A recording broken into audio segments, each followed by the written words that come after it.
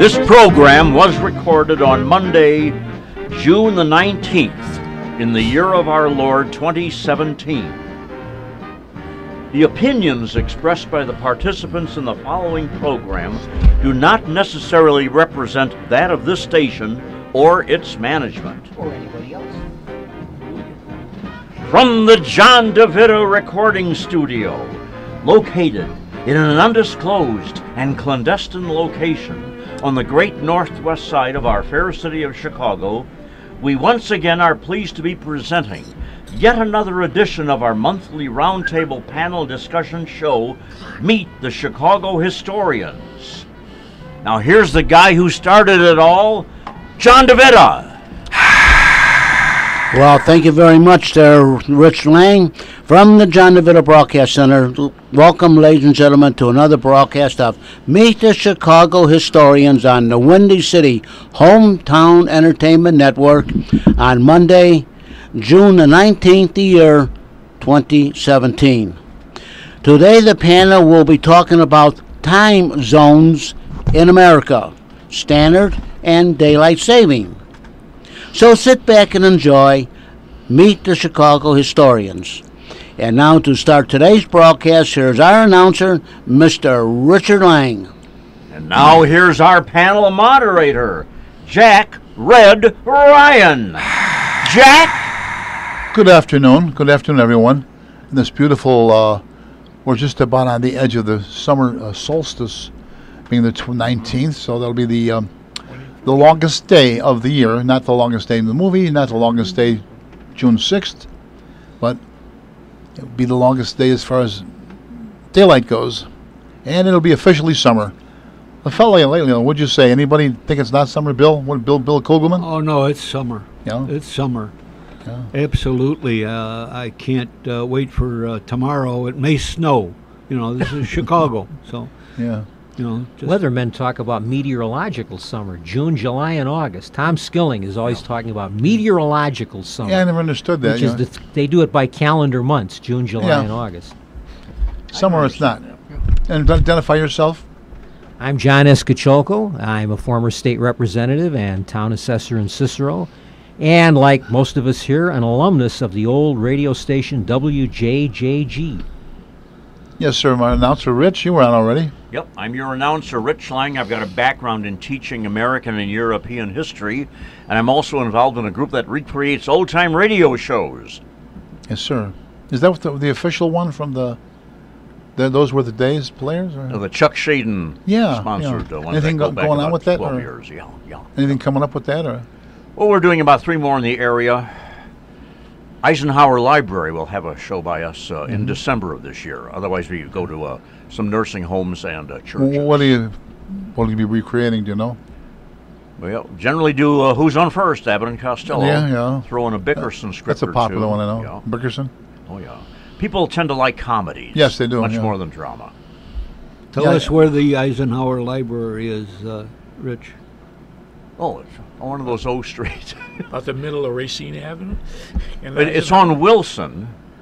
I would say about three to four blocks west of Harlem. At Chicago Public It's Library. on, it's on But Oketo. it's it's a uh, Harwood Heights Norridge public. Okay, that's what it It's outside okay. the city. Yeah. It's on Oketo and Wilson. Thanks. Oketo Wilson. Thank you. John. All right. And yes, sir. Let's hear. What, what is your name, sir? Sir, Speak up. you've been. Uh, my name, I'm Don Peter from Oak Park, Illinois. And? I'm not an alumnus of anything. Nothing. Not, Must. Where'd you go? Didn't go to school? Never. I just don't admit it. Hard You born in Arkansas? Yeah, I was born See, in Arkansas. Then You look like you look like the Clintons, doesn't he? Arkansas. Yeah, during the Second World War, Yeah. and Wow. then the next day Hitler quit. Uh-huh. Heard I was coming, and he gave up. You're an Arkansas Razorback. I don't know. What is a razorback anyway? It's a It's a, pig. it's a type Pig. of pig that has a Wild- ridge, like has a ridge wa- down wild boar? Mean, Yeah, Wild Boar. right. My dad Yeah. always talked about Arkansas Razorbacks. Yeah. Isn't there a team, football team? Yeah. like- College, yeah. Oh yeah, yeah. That's their. It's just like a Kansas Jayhawker or Missouri Alabama, Sooner, Crimson Tide, uh, yeah. uh, Georgia. Georgia Peach. Georgia Peach. I don't know what. I don't know. No, that was Ty what the- Cobb, Georgia Peach. the- How about Bulldogs? What is Georgia? Bulldogs. Which which one is it that they're trying to get rid of? That uh, uh, the people are not satisfied with. Uh, is it the? Is uh, it politically incorrect? yes, yes, incorrect. Baseball, football, Yeah, Was it Redskins? the Redskins. Yeah, Yeah, that's yeah. One. bet you- Washington Reds. Oh, uh, Yeah. Cleveland Indians also. the- Indians. Yeah, The commissioners. He was going to talk to them about that name. the Illinois uh, Fighting Illini, Fighting Illini, and uh, oh yeah, Florida Seminole, The Atlanta Braves. right? Somebody was talking about Native American Indians. They're going to refer to them now. I don't know why, or if it has a bit anything to do with redundant. it. That's a that's a sore point with me because the way I calculate it, anyone who's born in the United States as a citizen of the United States is a Native American. You're a native. bo- You're certainly a native-born American. Yeah. They always use that term legally, a native-born American. Yeah. Yeah. There was a Native American Party which was anti-Irish. In the Nativists. Yeah, back they used to to talk early about the nativists. Yeah. Yeah. Yeah. Uh, there was there was a Know Nothings. Oh, Yeah. No, yeah. Yeah. There's an article in the uh, I believe it was today's paper, might have been yesterday's about uh, Stephen Douglas. They want to change the name to two S's at the end of it. Like Bobby Douglas. the school, the school uh, on the south side, uh, because Stephen Douglas was uh, anti, uh, was uh, pro-slave, Oh, Lord. No. and and the the two S's. Uh, Would make it the same it- as it- Frederick it Douglass. just- yeah, like it Frederick just- Douglas it's ridiculous. last it's completely nonsense. You How do know. you change somebody's last name? Douglas Yeah. was it was a Union man. There's a famous story. You know, he, he he lost the presidency to Abraham Lincoln, but he was a staunch Union man. Died early in the war. Yes. But when, when Abraham Lincoln was inaugurated, he was on the on the rostrum. He held Lincoln's hat. Yeah. He held Lincoln's hat, the defeated candidate, while Lincoln gave his inaugural address, and Isn't- loyally supported Lincoln for the few months Yeah. remaining in his And life. There's that famous time Lincoln's ready to give his talk. He says, "Stephen, would you hold my hat while I go to the rostrum?" That stinks. But bum. I'd keep my daytime job if I had one. but no, you're right though. When, when- once the war, he was very much uh, well the same way with um. Uh, was a Union Neville Chamberlain was very much in support of Churchill after Yeah. you know that happened. So. Churchill spoke well of him when he died, because Chamberlain died early, just as Douglas died early in the war. And Chur- Churchill, who had, Chamberlain had done everything he could to keep Churchill out of government for years, but when he died, Churchill gave a very moving eulogy hmm. for Chamberlain in the Now, House of Commons. Folks, if you don't know, Winston Churchill was the Prime Minister of United Kingdom of Great Britain and Northern Ireland for how long? And he was a Lord of the Admiralty or something. First like that? Lord of the Early on. Admiralty. Yeah, and he also had an American mother, Yes. Right. and uh, that was our great ally in World War II. He, he and Franklin D. Roosevelt. That was a president here, young folks. Right. He's These are the things you probably don't learn in school. Yeah, that's He's right. on- on Not anymore. No. No, we learn about different tribal people somewhere and their chieftains, but we don't learn about your own. Uh, uh, I know a friend of mine, uh, one of the, well, one I worked with for a while. His son said a friend of his said, "Your dad couldn't have been in Vietnam. That was before World War II." Mm-hmm. So I mean, that's, that's true. This Yeah. is I ran into some people. I was at Starved Rock a couple of years ago with an ex- excursion with the town, and they have a museum there. If you've ever been to Starved Rock, and I was I was walking around, and there was there was a, a, a artifact there that had the, the cross of Lorraine. If you, if you know Casablanca, you remember the fellow with the ring Oh, that yeah. has the cross with Yeah. two crossbars on it, which was the symbol of the French Burger resistance Norwegian. because yeah because uh, charles de gaulle was from lorraine he was from lorraine and so he used the cross of lorraine as as the symbol of the resistance and i looked at it and there were some people there and they asked me about it and i was telling them what the only thing they knew about world war ii was that it had something to do with the holocaust they really didn't know much of anything else about world war and these are people in their f- late 30s 40s i would say and they really de gaulle the name of de gaulle meant nothing to them they'd never heard of charles de gaulle That's right. How old were these folks? You know? I say they were late thirty. They were late thirties to mid four. I'd say between thirty-five and forty-five, and they didn't know anything about World War II. They knew there was a war and had something to do with the Holocaust. I think that's that's the general uh, feeling of of this generation too, Ken. You know. Isn't there? Is paraphrasing. If if you don't know history, you're bound to repeat it. Do you think that's done on purpose? Uh, anybody? Sure. Oh, I suppose you Yeah, know. They, they called Mar- ours a dummy down generation. Yeah. Dumbed down. God. They're not. They're not kids. I mean, they're not. If that's the level of of uh, knowledge, I mean, De Gaulle was one of the great figures of the 20th century, and these people, you know, they, did the name did they, they didn't even recognize the name. They'd never heard of him. They didn't know who he was. Or if, if they do teach it, they teach it what they think it should have been. Oh yeah. Oh No, they're sure. Yeah. Yeah. Like a revisionist. Historical Yeah. revision. Yeah. revi- changing In which we're generally the the villains. The only thing uh, over there now is the airport. The airport is De Gaulle.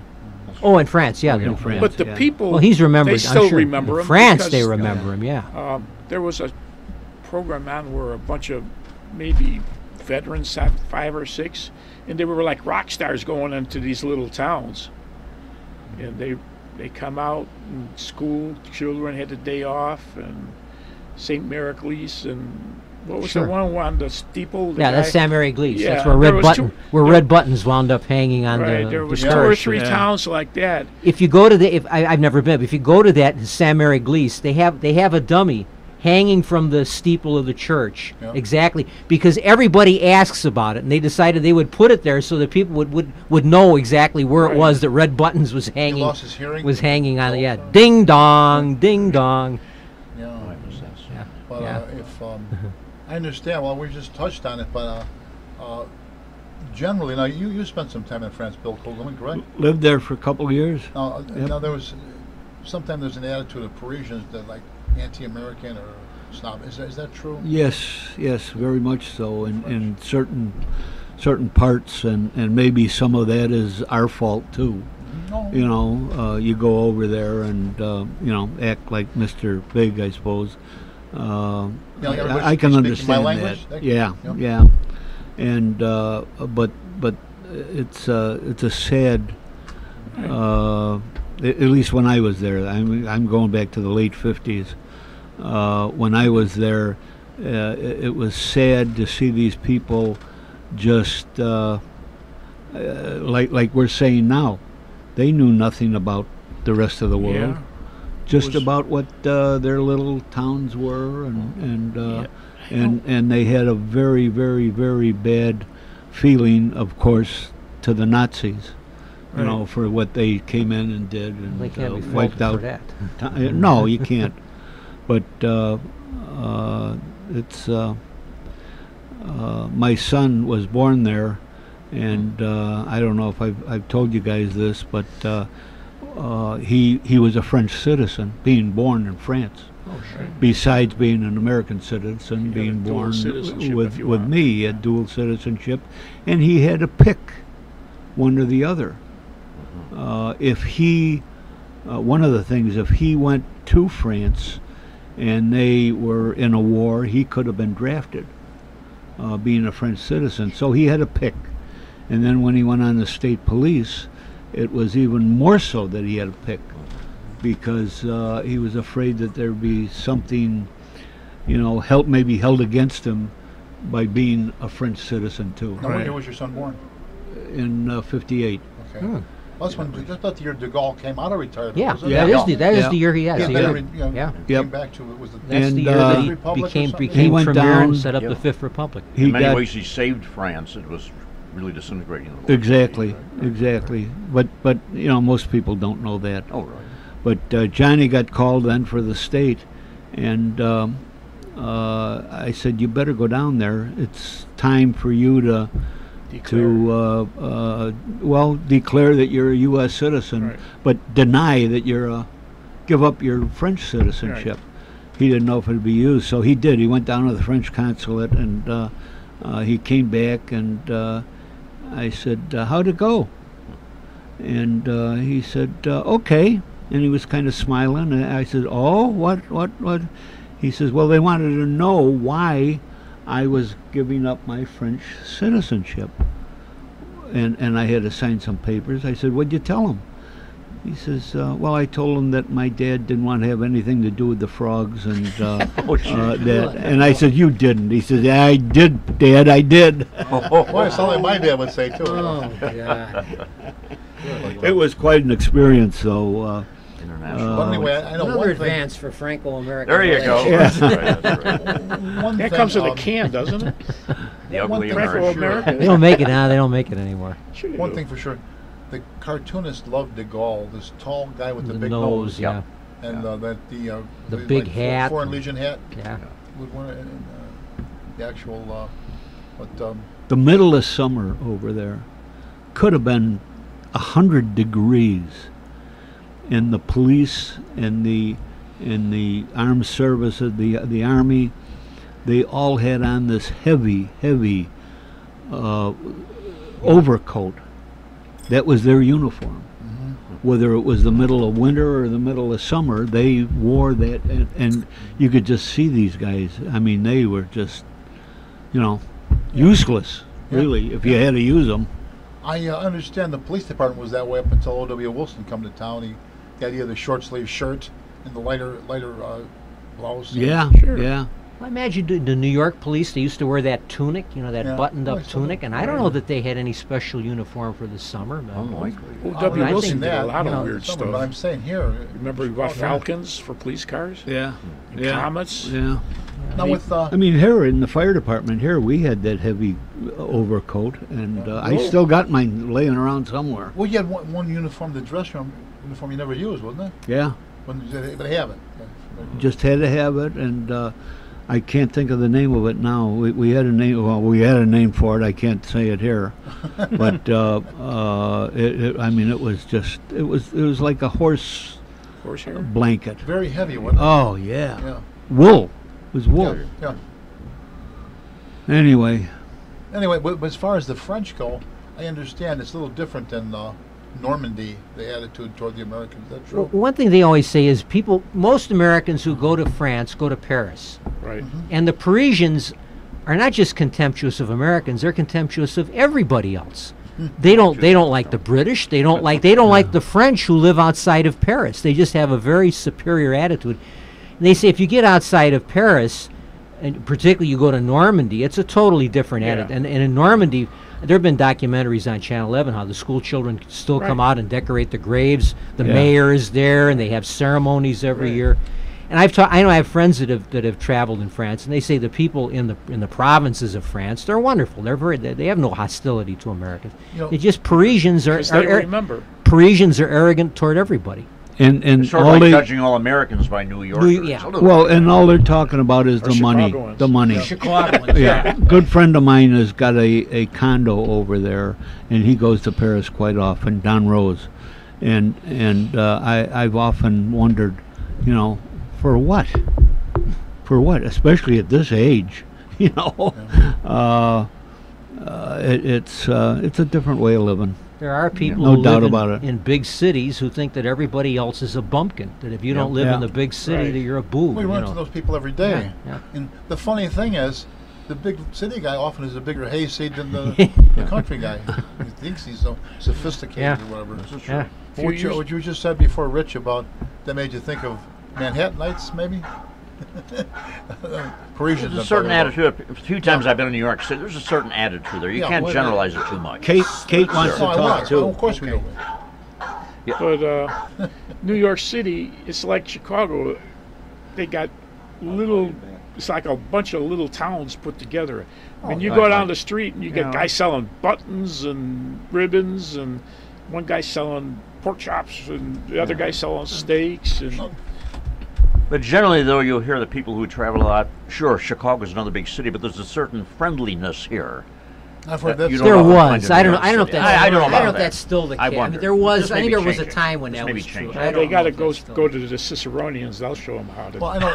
Just just look at the person. I mean, well, I was going to suggest you look at the personality of the, the mayor of the city of Chicago. too. Ooh, He's not a Chicago. which we learned from him. He's not a real Chicago. but he was Obama's chief of staff, wasn't he? Yeah, I think, Yes. Yeah, he was. Yeah. Never let a crisis go to waste or something. Yeah. his, uh, yeah. So, somebody said that. yeah, he did. He did. Oh, okay. He did. Anyway, what you just said too about uh, uh, lack of friendliness, I've, I was told the same thing. My son-in-law is from uh, uh, uh, Maryland, from uh, Salisbury. Where they have that big race. You know the big race in Maryland. What is it? What's the big big race? This uh, horse What, race? the Preakness. no, no, the other one, the Salisbury Stakes. Da da da da da. By he said it's much Okay. friendlier, much friendlier overall. That's kinda hard to Yeah. get That, I'll, I'll fill in for your friend. That was Jack Ryan, Yeah, folks, okay. that uh, said Yeah, that. Tom wasn't here to give the, the, the uh, you know, Send warning. all of your, your comments to Jack Ryan, Lee. The um, um, when we we made our first trip to New York, you know, we cut through the uh, the uh, Holland Tunnel, I guess, coming from Jersey. Jersey. And I asked some whoever was the ticket guy, "What do you want?" What? Right away, he was on edge and jumping. I think, "Oh, I see. I get it." I bothered him. Not that we don't see those types here, but um, but anyway. Well, we can generalize no matter what. You got to judge an individual as an individual, nonetheless. Am I right? Am I right or am Am I right? Yes, you're right. Can't take it as an individual. Yes. We'll run that by Tom uh, McKenna Yeah. next time. Anyway, you young kids out there who we were talking about want to catch up on some knowledge of World War II, we might suggest, and our program recommends Right. highly, you get um, some DVDs of the uh, series Victory at Sea from Da, da, 1952 bum, ba, bum, NBC, bum, bum, which is a fabulous. Uh, it's worth it for the music alone. Richard you? Rodgers wrote the score. You know what? I, I and I uh, still get the uh, history magazine that's put out by uh, uh, oh who is it now that puts it out? And then there's a Reminisce magazine, Right. Yeah. and then there's a uh, uh, well, the National Geographic puts puts a lot like of that. And I, history? I keep I keep those and I give them to my grandkids. Mm-hmm. Make sure that they got them and uh, they know what uh, what history is about. You know, and they do seem to be interested. Yeah. If you talk to a kid like, what What is Vichy France? What are you talking about? What is that? Yeah, they think it's a drink. Yeah. And you can make the point too that, that World was War II was the last war it? we Or won. the Free France that they that Germany didn't take over. Well, they really did. Vichy was Vichy was the capital of the the government of Puppet regime. Pétain. Yeah, it's a puppet. When when Germany occupied, when they defeated France in 1940, they divided it into occupied France, which was pretty much the north and the west, all the seacoast, Normandy, that's right. and Paris was part of occupied France. And then there was what was called unoccupied France, which was the south and east. And the capital of that was at a little, a relatively small town called Vichy, which is where the government had wound up when they fled Paris with the, the German invasion. And so uh, Marshal Pétain was the head of state, and it ended, I think, in 1942. The Germans occupied they, they occupied all of France. They they were dissatisfied with the way the Vichy Right. government was operating. They occupied the entire country. So where did de Gaulle end up? In the United States. England, London. England, okay. He fled to he got out before before France fell and set up a government in exile in London. He was sentenced to death by the Vichy government, what they call in absentia. In he did, absentia, they didn't he ha- was- they didn't have they didn't have their hands on him, but he was sentenced to death as a traitor by the And- Vichy government. Likewise, uh, uh, Pétain, Marshal Pétain, was sentenced to death by the French. After when And de Gaulle commuted his sentence, though. he I was that, yeah. he, he did they didn't really he he was he lived out the he was already close to 90 by that point Yeah.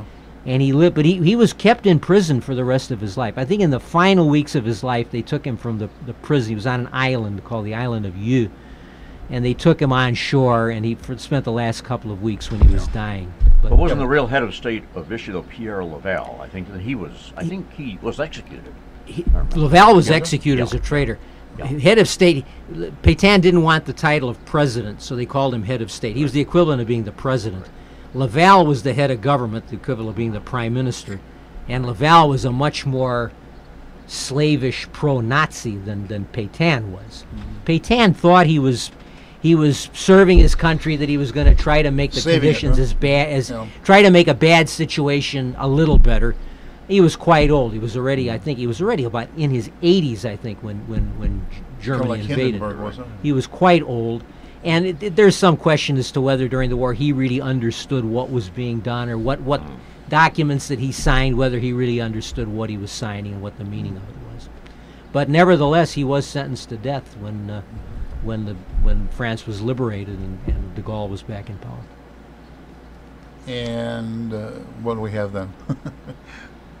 de Gaulle coming back 10, 12 years later uh, to uh, save the. Uh, Yeah. De Gaulle leaves leaves government around 46. He retires and, right. and he's in he's Yeah, he got a little fed up with the. was disgusted with the, the, the bickering because the, the French they went right back to the way things had been in the 30s, bickering Ah, Poitiers.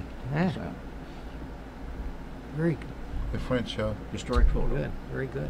uh, He got disgusted with the political bickering and went back. lived He lived in a, a tiny village called Colombe les Deux Églises, Colombey of the two churches, and he stayed there for 12 years until he was called back to save the country from chaos in 1958. did he have any descendants, De Gaulle? Or? He had a son Yeah. named Philippe, and I'm not sure. I, I, he, he's probably I, he may be, be gone by now. I, I don't know what Oh, what he, what he had in the way of a career. I, he never he didn't have a particularly uh, you know political career. I don't know if he, I don't think he ever served in political office.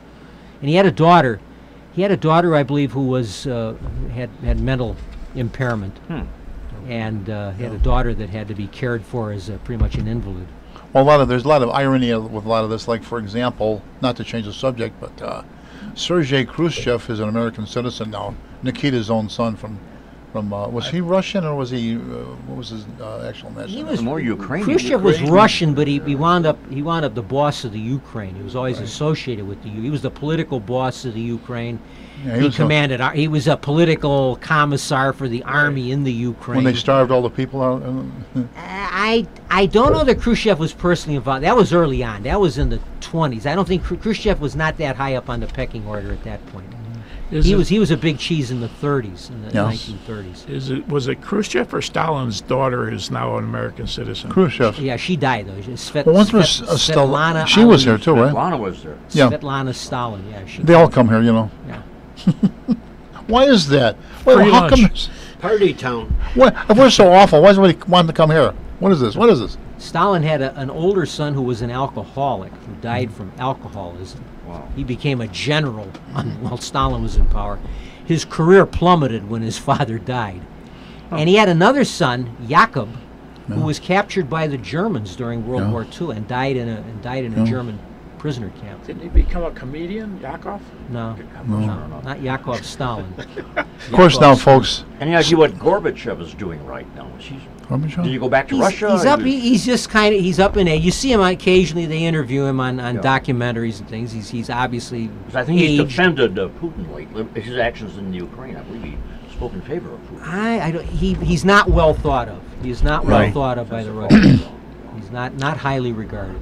I know at the time the Soviet Union was breaking up, and uh, Reagan had just come out of office, and it was now uh, George H.W. Bush was the president, and there was a breaking up, and there was this change, breaking, thawing of the Cold War, and there were a lot of people who were like speaking as if this is all Gorbachev was doing. It was all because Gorbachev was so wonderful, and someone said. The only I can't remember who this was. The only difference between Gorbachev and the other Soviet leaders is he's still living.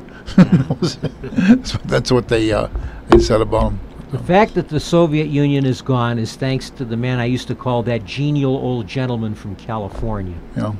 and the Iron Lady from from Great Yeah. Britain, Right. not Gorbachev. But isn't the current, whatever he is in in Russia, trying to reestablish this little? Oh yeah, Oh, I think he would probably like saw to, that as yeah. the glory If he of- could, but it's it's like the old story. Humpty Dumpty had a great. fl- You can't put it back together again. Well, what what they had, they he you can said that never wa- put it back together. the worst thing in his life was when the Soviet Union He said it was broke the up. worst That's- catastrophe of the that's right. 20th century. which the And reality. he's, he's an ex KGB. Yeah. Exactly. So he's no Eagle Scout. no, Sure. no, he's, no, he's not an altar boy at all. Yeah. Not even a Cub Scout. No. There's some nasty ass that. wa- You talk about secret police. I mean, if you think the uh, United States has some. These guys were uh, bad, bad, bad. Of course, they had a license to do it. Like these famous uh, in Poland, they spoke of World War II as being the country, the war that they lost twice. They lost with the the, German and the the Nazis and with the Soviets. so. And uh, there was a famous incident that was originally blamed on the Nazis, the Katyn Forest Massacre, when how many thousand Polish officers, were killed. officers and Right. aristocrats and Yeah. intellectuals, and that was Yeah. all done by the KGB. By Yeah, the, well, right. But then it was the Russia. NKVD, the Right, same thing. precursor of the KGB, the Russians. Beria. And they, uh, I was reading somehow how they did it. They had big generators going to make the noise, bring them one by one. They had their famous wave, he, shooting right in the back of the head and killing him instantly. And when when the when the Germans and the and the Soviets were, were finalizing their pact, Uh, they had they, they they they came to terms before the war began, and then they had another big meeting when Ribbentrop went to Moscow after the war had already started, and they had a huge banquet in the Kremlin, and Stalin pointed to Beria, who was the head of the NKVD, and he introduced him to von Ribbentrop, saying, "This man is our Himmler." So he understood exactly what the Yeah. relation was between the, the NKVD and the Gestapo. They were the same thing. And at that happy note, is it time for a break? Is it time for a break? Now it's our first brief intermission. You've been listening to Meet the Chicago Historians. We'll be right back. Doing pretty good. Pretty well.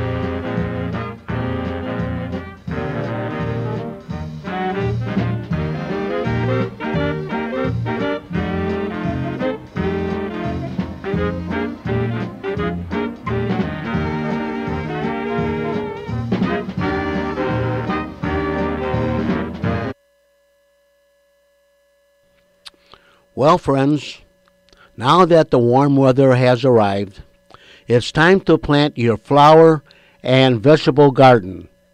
It's not too late to start planting your flowers and vegetable gardens, and I have just the right place for you to go. Get your flowers and vegetable plants. You can go to Pesche's Flower Gift Shop, Garden Center, and Greenhouse, which is located at 170 South River Road in Des Plaines, Illinois. Pesche's has a very large selection of flowers, vegetable plants, and much, much more. Whatever you need for your flowers or vegetable garden, you can find it at Pesche's. And once again, they are located at 170 South River Road. They are just north of Route 14 or Miner Street and south of Golf Road, which is Route 58, on the west side of River Road. And be sure to stop in and visit their flower and gift shop. Again, Pesche's Flower Gift Shop and Garden Center, located at 170 South River Road in Des Plaines, Illinois.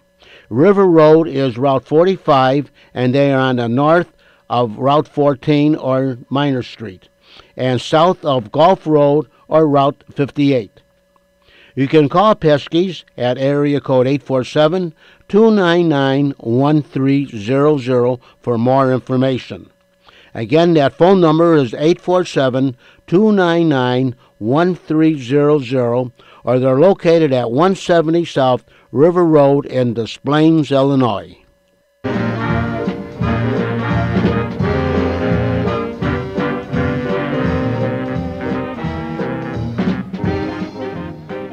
Of Meet the Chicago Historians.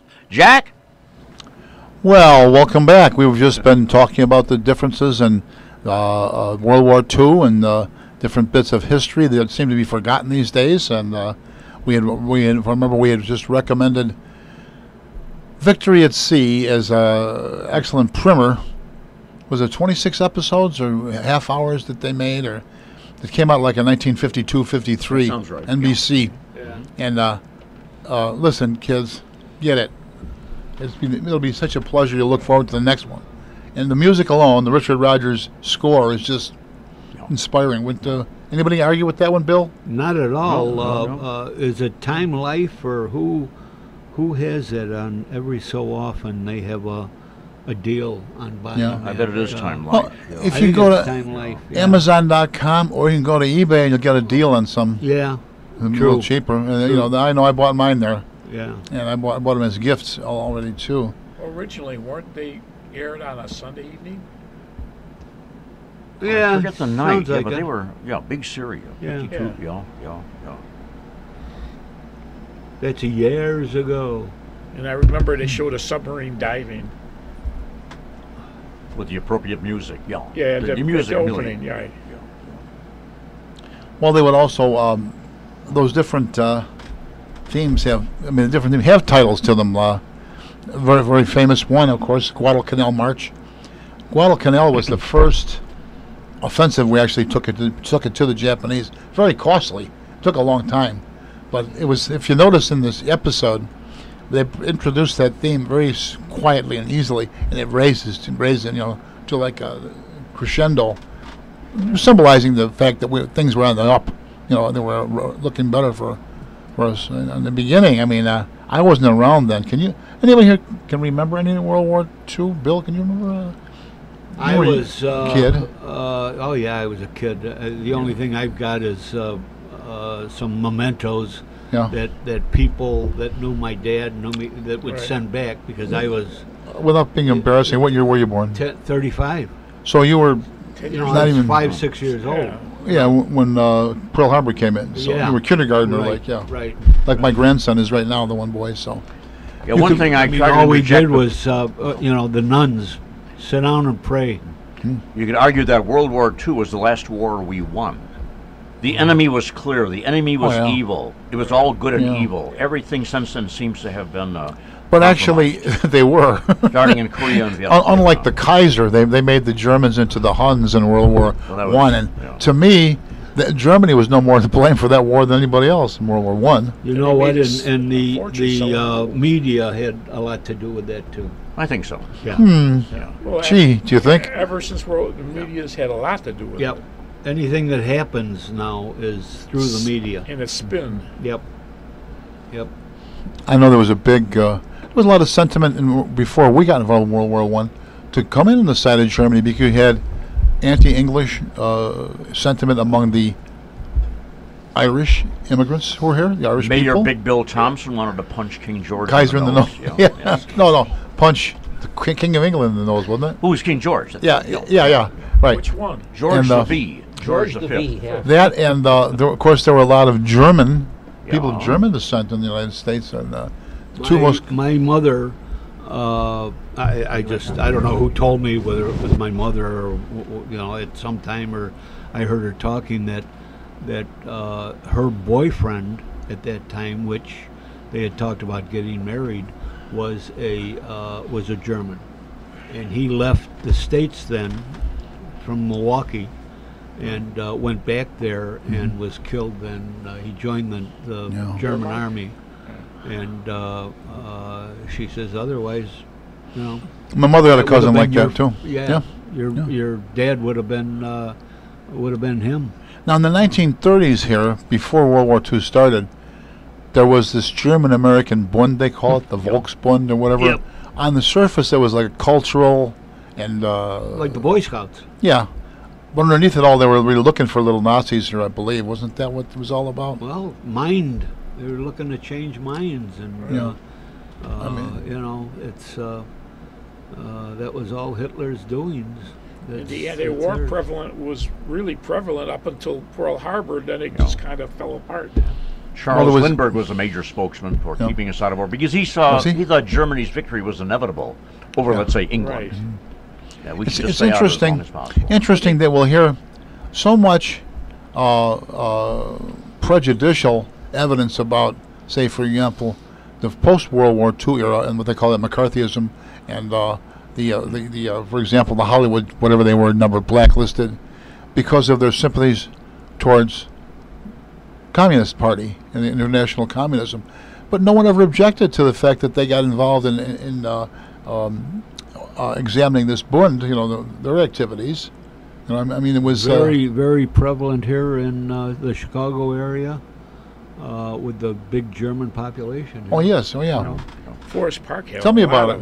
them. my my mother speaks German, so My mom was yeah. born in a foreign country. She was German. She was, she Yeah, was well, my mother was born in, in a foreign country, but um, uh, it, it- I'm saying it's just interesting that the different attitude when you're talking about two different totalitarian systems. We had just defeated uh, international fascism and Nazis and the uh, Imperial Japanese, and here's this former ally of ours, only through. I mean, you know, we were about as much allied with uh, Soviets for the re- one reason: the enemy of my enemy is my friend. Right. Not because Yeah, we're right. Right. ideologically, uh, Uncle Joe. unless you are somebody who were. We had If- liars, liars, and uh, worked for the New York Times. A guy named was But as soon as the war ended, it turned it did 180 degrees. his name was fast. Walter Duranty. Was the head of that bureau in Walter uh, Duranty. in the New York, uh, New York Times bureau. And for years, they covered up all about these failing programs. They covered up about um, uh, what was going on in the Ukraine, painting a rosy picture. They I were- go ahead. No, I was going to say the United States and Britain were allies in World War II mm-hmm. because we had common goals. We we sh- we had so much in common between our two nations. The United States and the Soviet Union just happened to be fighting the same enemy. That's it. Right? I mean, we had nothing else in common with the mm-hmm. Soviet Union other than the fact that we were both at war with the Germans, which was enough. I mean, we wanted the Right. Germ the Germans were the immediate threat, the Nazis were the immediate threat, Right. And but but beyond that, we had absolutely nothing in common with the with the Soviets. There must have been some fear that uh, I mean Stalin, the former ally of the Germ, the Nazis, right? For two years, the, Could- the could they flip again? were virtually allied. Yeah. There Could he flip again and go back? oh, Yeah, Stalin would have sold the West out in a in a in a minute Yeah. if he'd had the opportunity. The, uh, that's why there's such there was such care in uh, I know uh, in our own uh, public uh, our public uh, forums, you know, like uh, radio, tel- there was no television, but the radio. Uh, there was an, a comedian named Bert Gordon who did a character called the Mad Russian. Used to appear on when was on with and with um, what's his name's uh, Uh, Fred Allen, I think. wasn't How it? do you do was his. Uh, How do you do? Well, well, during World War II, they referred to him as our Russian friend. so, I mean, and then and then the picture. Here's one for you. And then whatever seen Mission to Moscow, the movie that was Oh, made. uh, God, I've never seen it, but I know I what I it- saw wish it. I could see that. it's, the, mo- it's an it was- apol- it's an apol- apologetic for the for the Soviet well, Union. they've got. Uh, I, that was that was the idea behind it. I think it was to soft soap and keep them on our side. I think Walter Huston was the star of that. He was, yeah. He was. Uh, he played the. Uh, and I can't think of the guy's name. Was the ambassador? It Was uh, from his book. Yeah. And, uh, Well, uh, and I, I saw it recently. I was like, I think they Bullet. went too It was far. Bullet. Too, of course, I'm judging it by today's eyes, not trying to keep them in line as our as, as fighting on the same side. Because we know, as you've mentioned this before, John, they had the population, they had the people. We might Right. have the weapons, but they had the manpower. But they lost the more of all the what yeah, twenty-three the million. Russian, the Russian. Po- I mean, our population was not much less than the Soviet Union. You know, they- they, they had they had a few million more than America.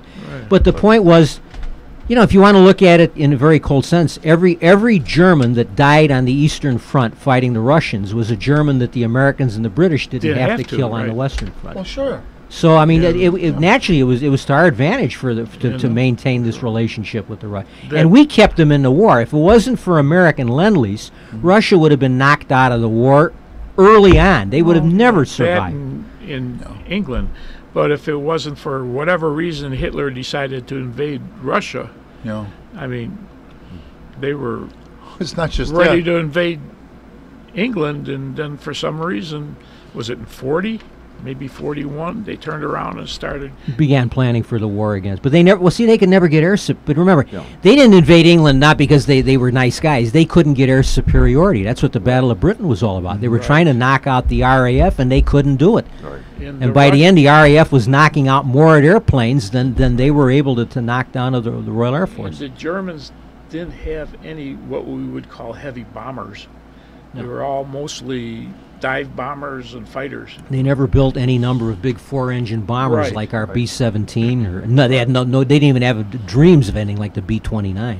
Well, we would we all agree that Amer- American commerce and industry had a lot to do with the Oh victory. God, absolutely, Wouldn't we argue with that? absolutely. Everybody went to work. What was the? Uh, it took how long to build a ship originally, and Henry Kaiser got it down to a matter of hours that they could actually put a one of those ships together, a Liberty ship, or Yeah, I think every maybe one a day, and then yeah, something like that. Willow Run. I think it was every one every two or three hours.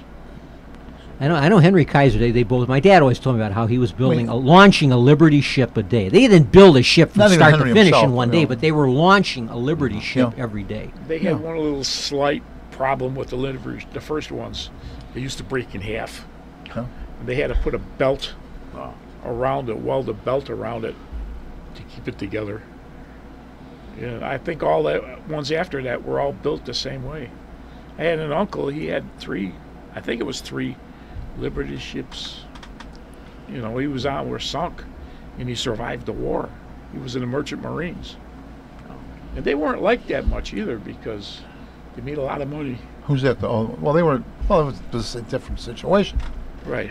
They were. They would be like the But same way. they were on. Well, the, for a while they were armed. They had maybe with maybe a six-inch gun on the front. They put some ships on. Yeah. Yeah. Uh, But I mean, they were kind of like the story. ducks. The story was told in uh, action in the North Atlantic with Humphrey Bogart was all about the merchant marine and what they were going through beforehand. They did actually put some uh, uh, weaponry on. Uh, on the- Right. on the- it's an interesting picture, though. It's almost like there's a, a little microcosm of the whole Allied world crossing the ships from Norway and everywhere, else, you know, Iceland and uh, uh, uh, else, what other countries? The, the- well, eh, what, what other countries are there? I mean, uh, if anyone thinks that the United States, United, the Great Britain, France, and a few others were the Allies in World War II, go to the encyclopedia and look at the number of countries who did declare war. Oh, sure. Now, how much uh, active participation? Yeah, that's I don't know. that's but, something uh, else again. Everybody, at war- it was truly a world war in that sense. All of Latin America. You know. But where are we now, Bill? What do you think about that? I, j- uh, you know, I was just thinking about this uh, uh, TV program that was on the other day about Watergate. I don't know if you missed that. guys saw that or not. It was, uh, oh my God, it was like two hours. I was going back and forth.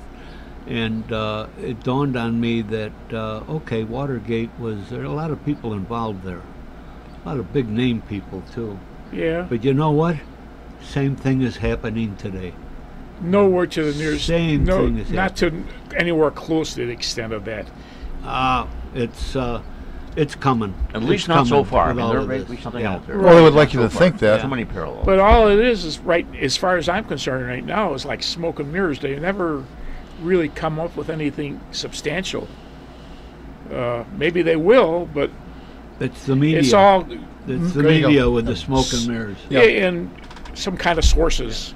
Well, it's like it's like um, They never um, show them or tell we're going to indict. They, they they don't like the fact that an outsider won the way this guy did. He won by talking and saying things that the common man was thinking about all the time. Is what it was, you know, instead of this. You know, tap you're talking about putting uh, putting a, a heavy gun on uh, these merchant ships and that, and uh, how, like you say, uh, history repeats itself because uh, these ships that were going back. This is just going on now. Ships going back and forth across the Atlantic Pacific, uh, and they are being pirated. Oh yeah. and It's nobody had any America, guns though, on Yeah. them. And and now, oh hey, oh we ought to put some guns on these. Uh, not we ought to stand up for ourselves. The shipping companies are arming them too. Are arming, arming what I'm talking themselves. about. Yeah. Yeah. Nazi Germany had something called a surface raider. It looked like a merchant ship. The silhouette was of a merchant ship. They fly a merchant flag, and as whoever it was approached them, it was like the pirates. They changed and opened fire, or whatever. That ought to be tried now with these people you're talking about. These pirates. Yeah. Blow them out of the water. Yeah. Uh, send a few of them back and tell their bosses what uh, what what they're going to more, get more of. Because you got to you, you, know, you got to look out for your people no matter what. You, and if you're going to put them in harm's way, if you ask them to uh, risk their lives, you have to give them all the protection you was can. I, you know what? I I'm not a a, a seer of uh, of the world's problems and that, but uh, it just seems that everything you read in the paper that you you, you talk about now is uh, uh, based on and, and your insurance all of this stuff is based on uh, you're afraid of liability Oh, you're yeah. absolutely afraid of liability. And if we don't learn to start standing up, you know, it's gonna, it's, it's not gonna change. Not gonna change. that and the reliance or whatever they on unnamed sources. What the heck is that? You know, that could be anything you want. Yeah, I think sometimes it is. Um, and, and it- it's well, how of course it's less and less than it was, but how much credibility is out there for the the general news media right now? I mean, uh, With me, none. I mean, Oh, I, don't yeah, know, I, mean, I don't know how many. same here. Take I, I with a grain think of salt. th- th- there's some indication that more and more people are just tuning out the news. I, d- I know I don't watch Yeah. as much news. For years, I always watch the evening news, usually Yeah. CBS. Right. And I'm increasingly I'm skipping. Maybe I'll watch the first five minutes just to see if anything important happened. Right. Five, or, and then and then I turn something else on. I'm not going to listen listen to somebody else's political prattling on. I, I like the six o'clock news for the what was going on locally, more or less, and the rest I go to I go to Fox News all, all the time, and I go But- to uh, Even internet. may- it's just my opinion, but even the weather, I think they hype that so you keep listening. They, they were saying for three weeks we're going to have heavy thunderstorms this week. Well, wait, we've never had them before. No, but I mean, like you know, if they say it long enough, sure, maybe it's going to happen. Yeah. what I mean is they, they make a big deal about the big snow or whatever, and they and they they're covering this, and we've been all through through all this before. That's right. Then what they want to do uh, here, why do these no, local shows or these shows have to have somebody out on that scene out at, at 35th and State at 10 o'clock at night to tell you the report about Well, it? it They have to be standing out there in the Yeah. cold when it's Yeah, you there's know nothing with, going on there with anymore. Rain It- gear on, as if It's once in California. as if you don't know what's happening. They couldn't just Yeah. as easily be sitting in a studio telling you what's happening. A, It's- a CNN Often crew, on an expressway overpass, yeah. a CNN crew in New, in uh, France a number of years ago. They were supposed to go to Algeria or something to cover something. They went to a, in front of some mosque in Paris, filmed it there with the mosque in the backdrop. Never even left uh, France, and they're quite at it They're though. foreign correspondents. Yeah. You got to have that guy But- uh, along the lakefront or the ocean front uh, Yeah. getting soaked Right. and and, Right. and frozen. Yeah. And, uh, But now like you, it's gonna gonna, you know, Yeah. does that make it better? Yeah, well, now you got networks on the news 24 hours. yeah, right. They run a loop and then they got to figure something else. It's always news right now. Uh, one of the best, we were just talking about there, Bill, and we were, we were talking about being on the scene. Remember when uh, Jane Byrne defeated Michael Bilandic in that primary? What year was that? 79? 78. 78? I think it was 78. Channel 2 News, there was there was this place just No, closed. 79. I'm sorry. I think it was Okay. 79. Forgive me. Place just closed. Schaller's Pump. The ch- tavern, tavern's like almost right across the street from, From Seventh Ward headquarters there. Yeah. They just closed down after how many years? But anyway, John Drummond's over there, and he's, he's some guy in Schaller's. Excuse me, sir, are you a political worker? And the guy says with a straight face, No, I'm an astronaut. it was so funny because he managed to maintain both of them managed to maintain the straight face during the whole situation. But They're uh, having a big problem there with that Schallers is, uh, uh, you know, splitting the money among family. his yeah his heirs and that. Uh, Jimmy Cosgrove, the Sergeants Association. Had their their uh, office right across the street, right next to the ward office. Yeah, I Not anymore, say. No, not They bought that anymore, building no, over on- Pershing. yeah, right. Yeah. What was But that, uh, about we used to go over there a Yeah. lot and uh, about Well, I like and, Shellers. and have oh yeah and have 36th, lunch. 37th in Halsted? yeah, Yeah, Yeah. yeah, yeah.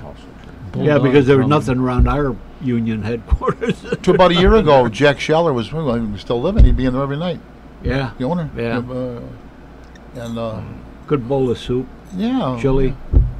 Uh, every every every every Thursday was corned beef and cabbage. Yeah. Ah. I don't know why. It's not really an Irish dish after all. It's an Irish American thing. But uh, my cousin, when my cousin When the legend oh, becomes fact, print Yeah. the legend. Yeah, Well, if you lie enough a lot, it's going to be it's going to be accepted as fact. But you know why they call it the pump? They had a direct line from the brewery next door. Oh, Nectar oh, Premium. Oh yeah, Nectar Oh. Premium was the brewery. Do you remember oh, that name? yeah, I. Yeah. thought they had a pump it to get the from No, the it was basement. direct a direct line. That's what their name. It's now their parking lot. So, yeah, we, we missed them. We used to go there before a game or after a game. Uh, well, the White Sox, that is, folks. They were talking about that. The other the other team in town here. But uh, uh, anyway, it was so funny though with John Drummond. Excuse me, sir. Are you an ast- are, are you are you a political worker? No, I'm an astronaut. You know, and the funny thing is, Drummond was not an airhead. I mean, he was No. an old. He was kind of an old-fashioned, you know, uh, hard-working reporter. They used to call him Bulldog Drummond. right. Yeah. That's right. Yeah. He was from the same school. Do you remember Len O'Connor? Oh yeah, and I am Len I think he worked for every station here, didn't he? Len at one time or another. Was it Yeah. was it Channel Nine or he was coming out of a, a elevator? He was cussing and swearing and everything, and I think that was his last time on TV. Well, he no, he lost. No, no, he he he blew up. What what they used to tape those those commentaries of his. Yeah. And if you've ever done TV, you tape it. and You don't like it, so you do it over again. You do it over until you get it right. played the wrong one. Well, they did one where he blew up. He, he, he blew his lines. He was, you know, he's reading the script. He skipped a line. And then he did it again. And then the- when it happened the third time, he exploded. He started cursing. He crumpled the paper up and threw it. Imagine that. well, then he did it over and did it right. Well, inadvertently, They used the maybe inadvertently, or maybe Yeah. they ran the wrong Wrong tape one night. And they Oh. ran the one where he blows up and throws. And I remember, Flo- I, I was watching it that night. And Floyd Kalber came on. You know, he, he was he was the, the anchor man. they cut the caliber, and he said, "Well, folks, Len's been under a lot of pressure recently." I sort of do remember that now. Yeah. I don't remember Yeah, was- But, uh, he's going to be under more trying to find another job. no, he didn't get fired. He, he didn't get No, fired. for, for anyone who don't know what we're talking about, go to YouTube. I think there's some of that on YouTube, YouTube.com. We'll have some of that. But this man was so low key, and he would be giving his commentary. And as I said, Edgar Bergen was a very famous ventriloquist with Charlie McCarthy.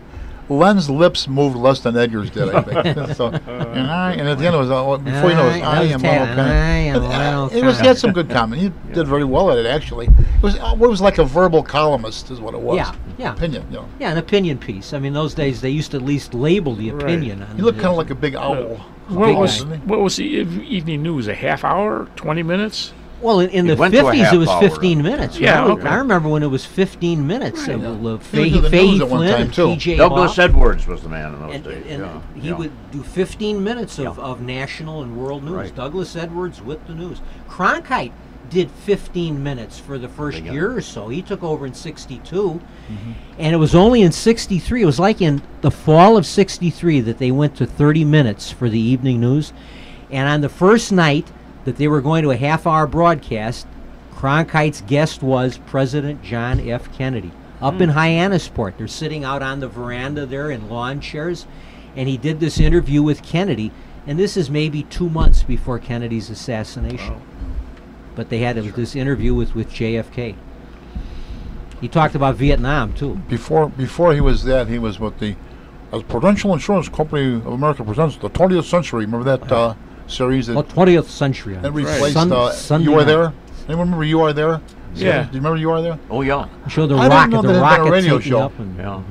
Well, that, that was what you call the original docudrama. They would go as if through, as if the camera's eye was a newsman covering the eruption of Mount Vesuvius or whatever. And the you would interview assassinate, people. the real assassination uh, of Julius Caesar. Yeah, they would interview, interview it's by interviewing people in the scene. It's really well done like that. But that's It's a clever idea of modern reporters as if they were covering a historical Yeah, event we and, do that and again. interview. It was it was a very clever But idea. that, but then as I said that one, it was uh, started on the radio, which I didn't know. All things are as they were, except you are right, there. Right, there You you go. you- You're talking about 15 minutes when it started. Now, Channel 7 Oh yeah, has got two hours. Yeah. right. Two They got hours. 15 minutes of commercials back to back. Well, and when well, they, they, did got the when, whole first hour. when four they to did five. 15 Yeah. minutes, Five to five thirty. Then it goes to national news, and comes back for six to six thirty. six it was o'clock. news, weather, and sports. I mean, it was yeah. maybe like five minutes of news, and then maybe three or four minutes of weather, and then two or three Yeah. minutes of sports, and a commercial or two, which was Standard Oil. You know, and Right. they do those And you have. Uh, speaking of sports, let's look at sports. But Norman Norman Barry, remember Norman Barry? He was, he coached the Cardinals.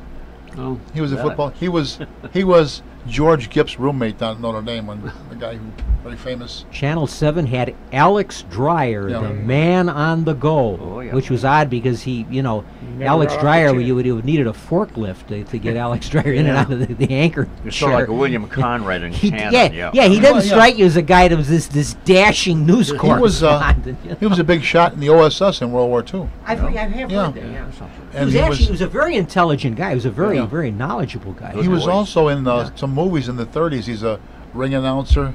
Uh, yeah, he's uh, made a few fight. pictures. Yeah, He's the ring announcer in, uh, or not the ring announcer, the radio announcer covering the big fight. And here comes Mr. Jordan. It's Alex Dreier. yeah. And he went back there. He went to the movie stuff. He was playing like an Orson Welles type was gonna say villain like for a a while. Sidney Green Street type part. Yeah, he would right, do or. Yeah, Orson Welles, yeah, yeah. yeah, yeah. Didn't they have fights? Uh, I guess it was one of the channels live on Friday, sometime during the weekend. Friday. night They had two nights of NB. I think it was NBC had the Friday night fights and maybe the Wed. There were two nights a week. Wednesday night was uh, Pabst Blue Ribbon with Jack Drees. yeah, Friday Two nights, nights was from Madison time Square Garden with yeah. Jimmy Powers. Remember? yeah. Don I, Dunphy. I remember that name. Don, Don Dunphy. Dunphy. Don yeah. Dunphy, yeah. then I do remember. Sugar Ray Robinson. That was in his career. And bowling was big on early TV. Oh, Yeah. bowling. Yeah. Whispering Jack Smith. Whispering Jack Yeah. Yeah, there was one of Joe Wilson. Archer in California, and it was up on the second floor, big bowling alley. You know, we, There's we a hardware let's, let's store trade over to the next period, the next Yeah, hour we, with we're coming up on local a, sports and whatever. Now, now you're talking. Oh, we, we got, a, got a minute to kill. Anybody got a story about a minute? You know? No, Remember the the stock car races at Soldier Field? That was big. I mean, they were they would pack the whole place. Well, I was just thinking of Marty Faye. Those commercials midget that Marty. Faye would Marty do. They'd Faye. have a, they'd have a table laden with cups and saucers and all these things that you could get if you if you were one of the first 50 people to buy. You'll get this Well- complete set of china. And then his big thing is Electrolux vacuum cleaner. The old, the old pitchmen like Lynn Burton. yeah. Oh yeah. For Lynn certain. Burton for certain. for certain. you're wagon master. Yeah. Well, you could get all that stuff if you bought gas on the weekends too. You, What's that? Jim Moran. You're courtesy man. I bought a car from him. Bud Hauser. Did it turn out well? Bunhauser? Good yeah, it was a '67 English Ford. Moran would come No, on. There'd no, be a sign the- behind uh, it would say remember the, um, 195 Oh, Motors. Yeah. Then he And Moran would say, for- "You may be wondering that's what okay. kind of an automobile can you get for $195?" well, let's say all you're looking for is transportation. Basic transportation. well, we have here this 1954 Dodge. Oh, pardon me, gentlemen. and it might Yes. even have wheels. Once again, I must it. interrupt. You've been listening to Meet the Chicago Historians, and we thank you for it. We'll be right back.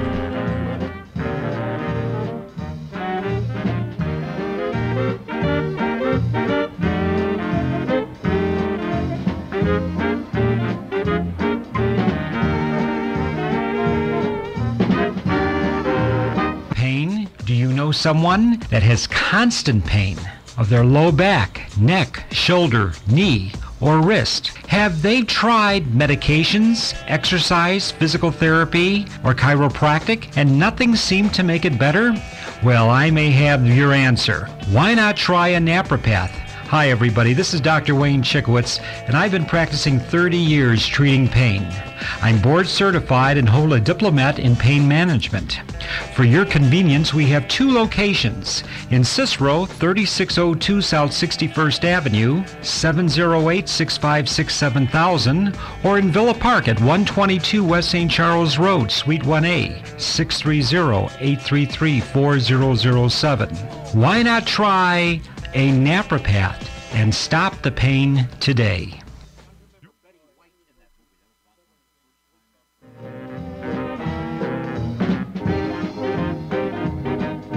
Back to our show.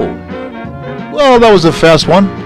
We are we have we have motion, ladies and gentlemen. I don't want to. I know this is going to disappoint many of our readers, our readers, our listeners. Uh, but many of our listeners are going to be disappointed to hear. We have voted to table this this month's discussion to next time around. Motion to table. Is there a second? Second. All in favor signify by saying aye. Opposed, nay. The motion carries, and it is so ordered. As, the- as Speaker Pelosi was saying, we got to p- pass the legislature to see what's in it. Remember that one? But anyway, we were going to talk I was a about kid, um, time zones and sa- standardized time and all that, and it's a very interesting history behind it. However, we're kind of lacking having a forum for fun one. talking We have Well, a, next time. well, we'll, we'll the next time. Very good. I like that. Da-da-da-da-da. But we were talking now about local television and what was popular at one time and personalities and. Uh, what were, who were we doing before about different We're talking about Al, we were talking about? Alex Dreier and uh, Well, Alex Dreier, the P.J. news. Hoff, the weatherman. Okay, what about Clint Youle was the weatherman Oh, on yes. Channel 5, On it? NBC, yeah, Channel 5. What's the outlook, PJ? PJ. Yeah, P.J. Hoff on Channel 2. Always had a little cartoon. Mr. Yellencuss. Or we have right. the vice president in charge of looking, out the window. That's it. That was P.J. Hawk, wasn't it? yeah, PJ P.J. just said that. But I think one And, comment. little- and when the when the hay fever season would arrive, he would give you the pollen count from a little fellow called Little Ah Chu, Oh, yeah? little Oriental fellow, Little Ah Chu. Would be politically Yeah, incorrect. it sounds today, I'm terrible now. I even Yeah. say that. Oh, my God. But I think one youngish commentator who's maybe a, a successor in the sense of the old Len O'Connors and such, and he's made the rounds of all the stations, Mike Flannery. sure. Yeah. Yeah. Oh, He's on Fox is now. still He, I think, Yeah. spent a lot of time in Channel 2. CBS. He's on 32 now. He's the tallest 32? one. Yeah. yeah. Yeah. When I was in, in the legislature, I talked to Flannery several. He was covering this the, the General Assembly, and I had a chance. I was at a couple of functions where he was there, and I talked. He was a, he was a decent guy. He was a nice guy to talk Good. to. Yeah, comes across. Fair mind came across as a fair-minded individual. Yeah. He uh, during 1980, uh, during our uh, union problems, why Mike uh, was the only guy that I left to uh, that I would let come up to our office, and so I got to know him very very well, and uh, uh, he, uh, he he wasn't like a regular reporter. He, Watch your language. He reported the the uh, the actual He's actually telling you what Things. happened. rather- exactly exactly. No. And uh, no, Mike's Mike's a good guy. You mean we were going to write a book together, in fact. Oh, really? too, too, too many people? Is they go by never let the facts get in the way of a good story? You mean? Right. That's right. it. That's Yeah. right. What That's was it. that with Megyn Kelly? She Oh, she got God. in trouble because she didn't s- stick to a script or something. Wait, that- I think Megyn Kelly thought she was going to take out Donald Trump in that first debate. No, this is just like. Well, no, I'm just, just, just my very opinion. hostile. But Yeah. I just my, my my curbstone opinion. I, I saw that the very first. I think it was the very first of the Republican debates, about a year ago. It was about a year Oh, ago, and, a year. and maybe maybe a little less than a than year. Maybe more than that, but but it was early in, in 2016. She was very hostile. All the candidates when they had Wasn't she? 42 guys up on the John, platform. wouldn't you say she looked very hostile from the get-go? Yeah, I think she thought she was going to do that. She was so clever, and and Trump, of course, everybody figured Trump was a boob, mm-hmm. and she was going to destroy Donald Trump, and that was going to be her ticket to the big time. That she would wind up on CBS or NBC, and I thought that you know she felt that that a couple of really hard hitting questions, and of course Trump just came right back at her, which is not something Republicans are noted for. They usually fold whenever the media goes after them, and it, it just boomerang. Now she wound up on it. She did wind up on NBC, but that debate did not turn out the way Megyn Kelly thought it was going to. She I- thought she I was going to destroy him. Her her uh, her status has fallen actually some. She's Well, she, she's she wants to be another Sunday Barbara night Walters. or program now. Huh? She's She's got a Sunday night got a- program. I know. but Opposite watching it. 60 Minutes. But didn't and- she get into, or somebody got into trouble because What? either she asked questions she wasn't supposed to ask, or NBC Recently? didn't want her. Yeah, didn't I that want her I, I to don't know anything ask. about that. I used to like to watch her. Yeah, but I turned. The, I used to turn the voice down. Oh, yeah. That's part of it. No, she's she's she's good. And, and, and um, none of those folks are super whatever. I mean, uh, the only what the old saying is that he puts his pants on the same way you do or something. But there's some are better than others, obviously. But it would seem like um, uh, you can't get too much of your own in, your own ego into into this, or maybe that's what happens to you. That's that's what happens to all of them. Yeah. Seems you know. You got to take them out with a pound of salt. Oh, what's his name? Brian. What's his name on NBC? Brian Williams. His, his the was his uh, plane was under fire. Oh Yeah, yeah. remember? Yeah. Why do they get these stories? Well, so was Hillary Clinton. Yeah, she's Remember gonna her say plane we was landed. We had a Yeah. duck, and it was. Why do they? say- Why do they say these whopper? And they, are they so used to telling lies that they believe their own stuff, the or truth what? is going to catch up to you someday. How can you deny that? What is Yeah, Brian's yeah. name anyway? Chan? Brian Williams. Oh yeah, I was gonna say Brian Wilson. Brian Williams. So that was Well, the oh, he Beach was Boys. Beach Boys. Yeah, I was gonna say He Brian did Williams. better work too. and his career was his career was on the ascendant until he got tripped up with that. Now, with that now they still got him under contract on cable, so Yeah. he shows up over there, but not on the big, you know, the big Cronkite seat or Huntley and Brinkley. Remember them? Well, Dan Rather got tripped up that way too. He thought he was going to take out George W. Bush Mm-hmm. with, with, with pounding on his his record in the the, the Texas National Guard. Yeah, and they had that phony. Uh, Yeah. Um, and it, it, he got caught up. He was he was. it had the little print that comes up as THs and whatever. NDs. Yeah, they were able to. Yeah, they started doing it then. doing Yeah. a Sherlock Holmes type Yeah, analysis of the typewriters. and- His his defense was, well, just because that's the way, it doesn't mean it's not true. I mean, it was just like, whoa, you just got caught, Bill. it's incredible, and they come back for more.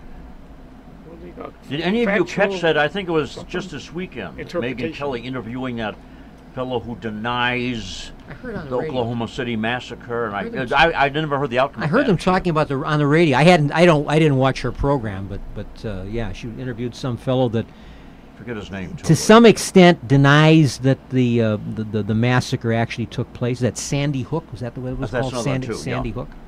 And the Oklahoma City bombing. Oh, is Yeah. this the Megyn Kelly? Uh, Yeah, she you're interviewed. talking about? Okay. Oh, well, is she going for freak stuff or what? Well, the premise was that she was presenting this guy as a mainstream conservative, as a way of, Oh, dis- yeah, yeah, as a yeah, way of. yeah. In other words, you, sh- you show some some guy who has has The totally face of off the wall opinions, and somebody who I think him Trump as a some conservative. positive things about. Yeah, so present Yeah, him as, yeah. as a typical It conservative. did you know. come out that way though. Yeah. I didn't hear. I, wish I had heard. But I always thought that she was a So did I. midstream conservative.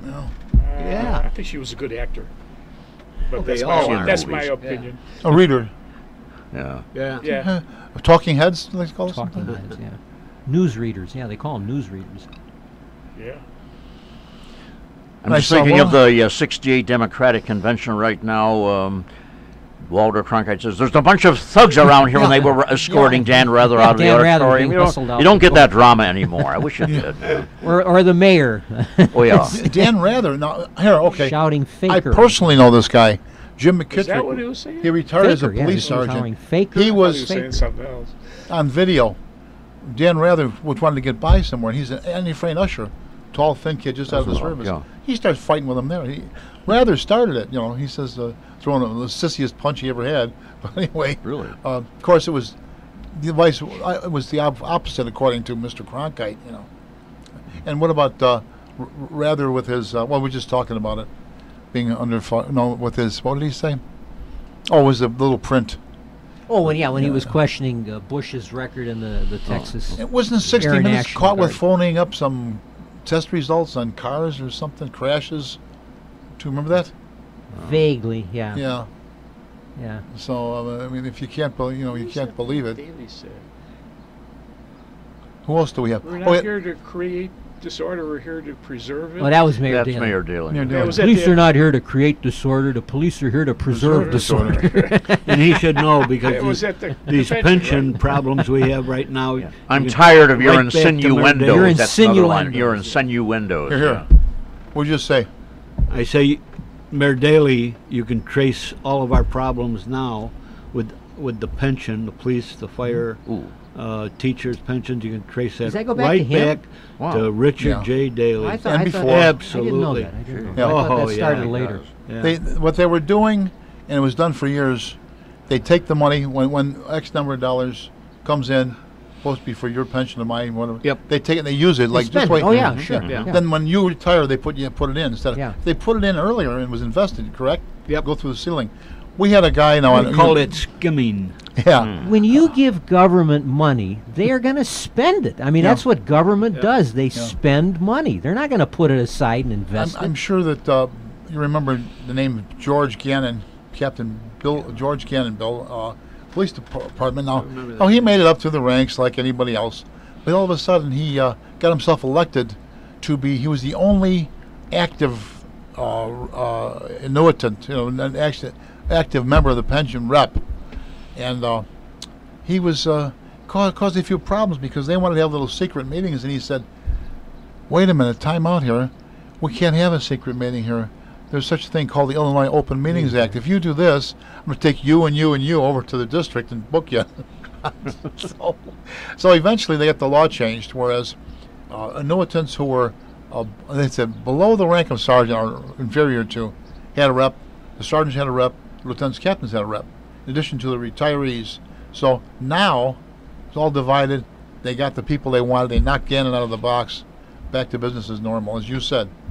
I think it goes it goes back even beyond Daley, though, don't you think? Could It could go- be. It Yeah. could be. But uh, we give nine and an eighth Yeah. of our salary Right, for right. our pension. Yeah. And uh, we were always under, and the, that's the way the law stood, was that money was to be put away, and uh, and we had we hired Yeah. people to uh, invest it. As You as know, uh, you're talking about millions and millions What and hap- millions what of hap- dollars.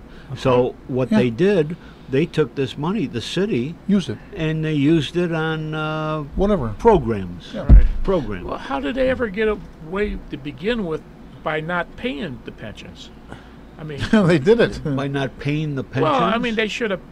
What, What what, the, I, they Oh, collected paid the, the money. eventually. Yeah, what I- eventually, yeah. what I But think Big Did City. they pay all of it that they were supposed to in one year?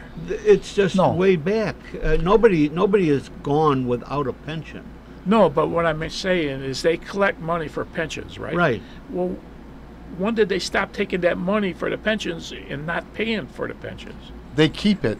When John Ryan retired or Bill Kugelman retired, then they'll put the money in, not as it was Yeah. coming. Am I right? Yeah. Here, Right. here's another thing that I think is with what big cities did. If they give you a pay increase now, they've got to pay you right now. They've got to find that money now. They've got to raise taxes now to pay you that, and they don't want to do that. So instead of giving you a pay increase now, they'll give you a small pay increase, and they'll promise you a big pension increase down the road. Right. By the time it comes to pay that pension, they Ain't figure no they're going to be gone. Somebody else will be in, in these offices, and they'll be left holding the bag. So let them worry about finding the money to pay it. And here- that's that's part Here, of let me give you a little more thing. One, works. one more and thing they from borrow. Right. Yeah. yeah. They borrow. That's why their their uh, class now is going down the tubes. Mm-hmm. And I think on a state level, we can blame Ogilvie and Thompson for Yeah. running this problem. But they're Yeah. borrowing Yeah. money now to run the system. Before they used to just borrow money for a street or a sewer. Now they're borrowing for, money. for day to day, just for routine expenses, Yeah. and for Yeah. paying the debt that they owe for all the previous expenses. that- or part of the debt. The way it was explained is like this. I remember this said, and this is George Gannon again in a meeting. He says to the guys, "How much of the city's money goes into your pension?" And the answer is none, because it's not their money to begin with. They're empowered to collect it Yeah. for the mm. pension Yeah. fund, but it's not, not, the, that, not that at all. Let me give you a thought. You know, we all can remember when interest rates were about five percent. When it was customary, if you went to the bank and deposited money, interest rates were about five percent. Treasury bills paid you roughly four or five percent. We've had interest rates for almost zero for the last eight or nine Right. years, Yeah. but they're starting to creep up now. Every time the Federal Reserve Board meets Right. their rate, what happens when interest rates go back up to a historic level of five percent? We have a twenty trillion dollar debt national debt in the United States. If we have to pay 5% interest on that debt, that's a mm-hmm. trillion dollars a year. So, in addition to what the deficit is for ordinary expenses, they're going to have to come up with another trillion dollars just to pay the interest on that. There's no way they can do it. And when that happens, the national debt is going to start going up, you know, like a skyrocket. Hmm. And we wind up, you wind up where Greece is today, where the country is just broke. You owe so hmm. much money you Yeah. can't Bread pay it. costs $100 There's no way you can pay it. And that, if we don't do something, and like I say, for the last 10 years, we've been able to ignore this because interest rates have been zero. So you didn't have to worry about Right. paying Yeah. interest on it. When it, when it gets back to a level where it becomes a problem, we're going to really have to decide how we're going to deal with it. I remember one the tail end of uh, not Clinton, uh, just before uh, there was interest rates of like fifteen percent. Oh, That was in the under Carter. Yeah, Car- was Carter and- 70s. Oh, yeah, right. sure. And I bought a, I don't know, ten thousand dollar CD. Yeah, they were paying you 15%. for a Percent. short And about a year or two later, well, we'll give you an iron if you cash it in. Yeah, sure. And I s- and they kept on. He says, "Well, what what will it take for you to cash in your thing?" I said, "Well, give me all the interest due at the end of maturity." We can't do that. I said, "I got a long time. I'll wait." Yeah. Yeah. One, one- one more thing about the um, talking about these pensions. Like, uh, Bill, you said you nine plus percent you pay. I the same thing. I, I got a terrible shock because I was getting to what they call at max. The maximum was like 32 years at the time, I believe. I said, ah, great. I have all that extra dough. Well, they don't. They keep on taking it. Yep. That's part of the law too. They keep on taking it from you after you've hit max, maximum. You know, so. So why keep working after you hit maximum? That's what I said to myself all of a sudden. Stayed for a while, about two or three years more. And But, they uh, change it. They keep changing it. Oh, yeah, I during my uh, uh, time on, I came under three different pension plans. They kept reducing the number of years or something? Yep. Yeah. Yep. 53 One 23 was the big thing when I. Uh, when I came 53, up. 23, 53, 20, 50, Yeah. 20. now uh, sixty-three. Yeah. Yeah, that's what I thought. No, 63. what is? No. No, Fifty-three or sixty-three? 63. Yeah, that's what I thought. Yeah. 63 for what? I mean, You have to go. You have to go. oh, you've got to go. Yeah. Yeah. but I mean, you can go. Maximum. Oh, yeah. Oh, yeah, yeah. Yeah. You know, they were doing that. f- They were doing that for a while too. People were suing or whatever, and they. Yeah, obviously it was political clout. Some guy was there on were for six months, certain and then a policeman, and then he's gone. municipalities, like I don't know if it was the cops or firemen. Two months out of the year, they would give them a ten percent raise for that one month, hoping they would retire on that month, so they would get a little better pension. Not us. Yeah, I've never heard. Of, Not us. I never heard There of was that. one, no. believe me. You got a 3% uh, after you retire. Well, there they've was a certain done away with percentage. that. Uh, They're trying to catch up. In fact, there's a federal lawsuit now uh, that's uh, being heard. That's uh, politics. Right. Speaking of politics, you see the first Bush, he just turned ninety-two years old. George H.W. Bush. Right.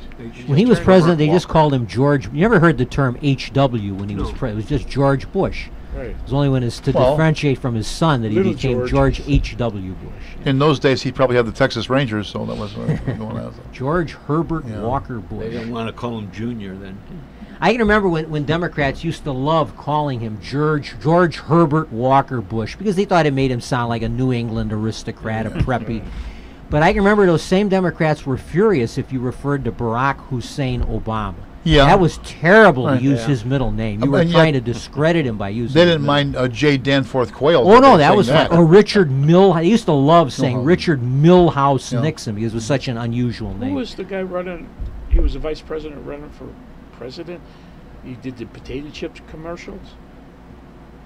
Potato chip commercial. Yeah, on one of the. That's Super not Bowl. Quayle insisting potato is spelled with an E at the end. Yeah, and, Yeah, he, that was- and that at was the Quayle Super again, Bowl, yeah. he was doing a Jay's potato chip I- I- commercial. I, I remember know- doing I- I know he got commercials, he got and that was that was a That setup was a too. spelling bee, bee or something. The Like that, wasn't report the, the teacher gave him Yeah. an E at the end is the correct answer. The not cor- teacher handed him a card with potato spelled with an E. Oh, that's yeah. And then when he when he said exactly what, They the, were all what- over him. then all the press made him out to be a boob. And then he yeah. did the, the potato chip commercial at the I Super didn't know Bowl. that. I, I missed that part. yeah. Oh yeah, afterward. Yeah, years uh, later, It was yeah. the Buck Super on- Bowl. made a Yeah. buck on it. Yeah, You made it sound like it was during that year. He was from what? course. Indiana. Indiana. Yeah, Now they got a vice president from J. Indiana. Danforth. Remember Well- William F. Buckley Jr. always saying Oh, God. Lyndon Baines Lyndon Johnson, Baines like that was a derogatory. Yeah. Yeah.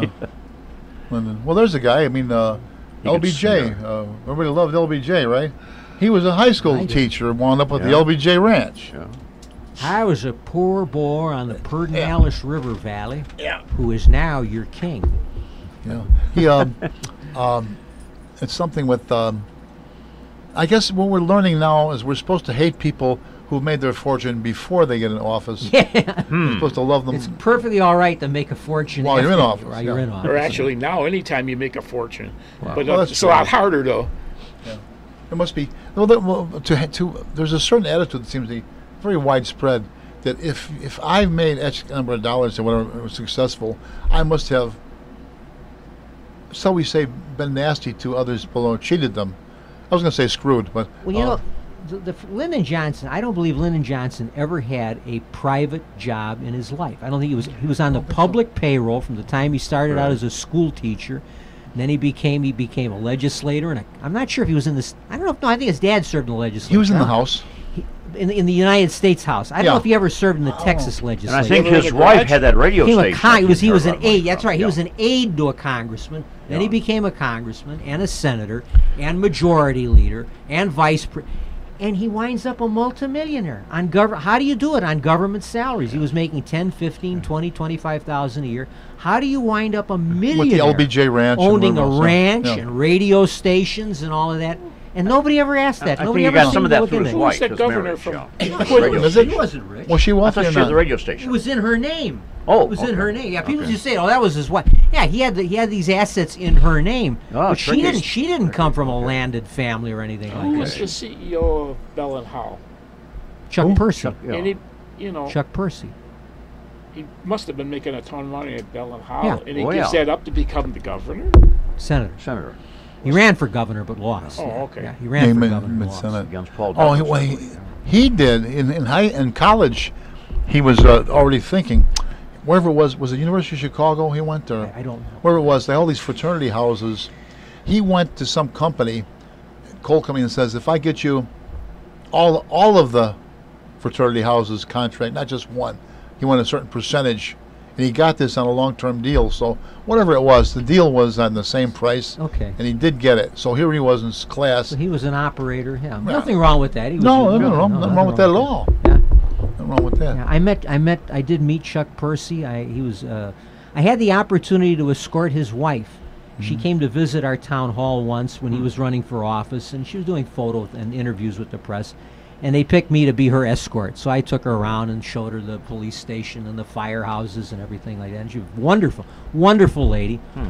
And when I went to Washington not long after that, Percy had invited me to come to his office, and he took time. He took time to, you know, to spend with me and talk to me about my career in politics. And so, I mean, I came away from with a very positive image of, of, of Senator Percy. He was a very engaging fellow, and and very often when you do something and they promise you, the, the promise is forgotten once the Don't election is breath, over. right. I'm busy, but no. When I came to Washington, oh, he made time for me. It was fine.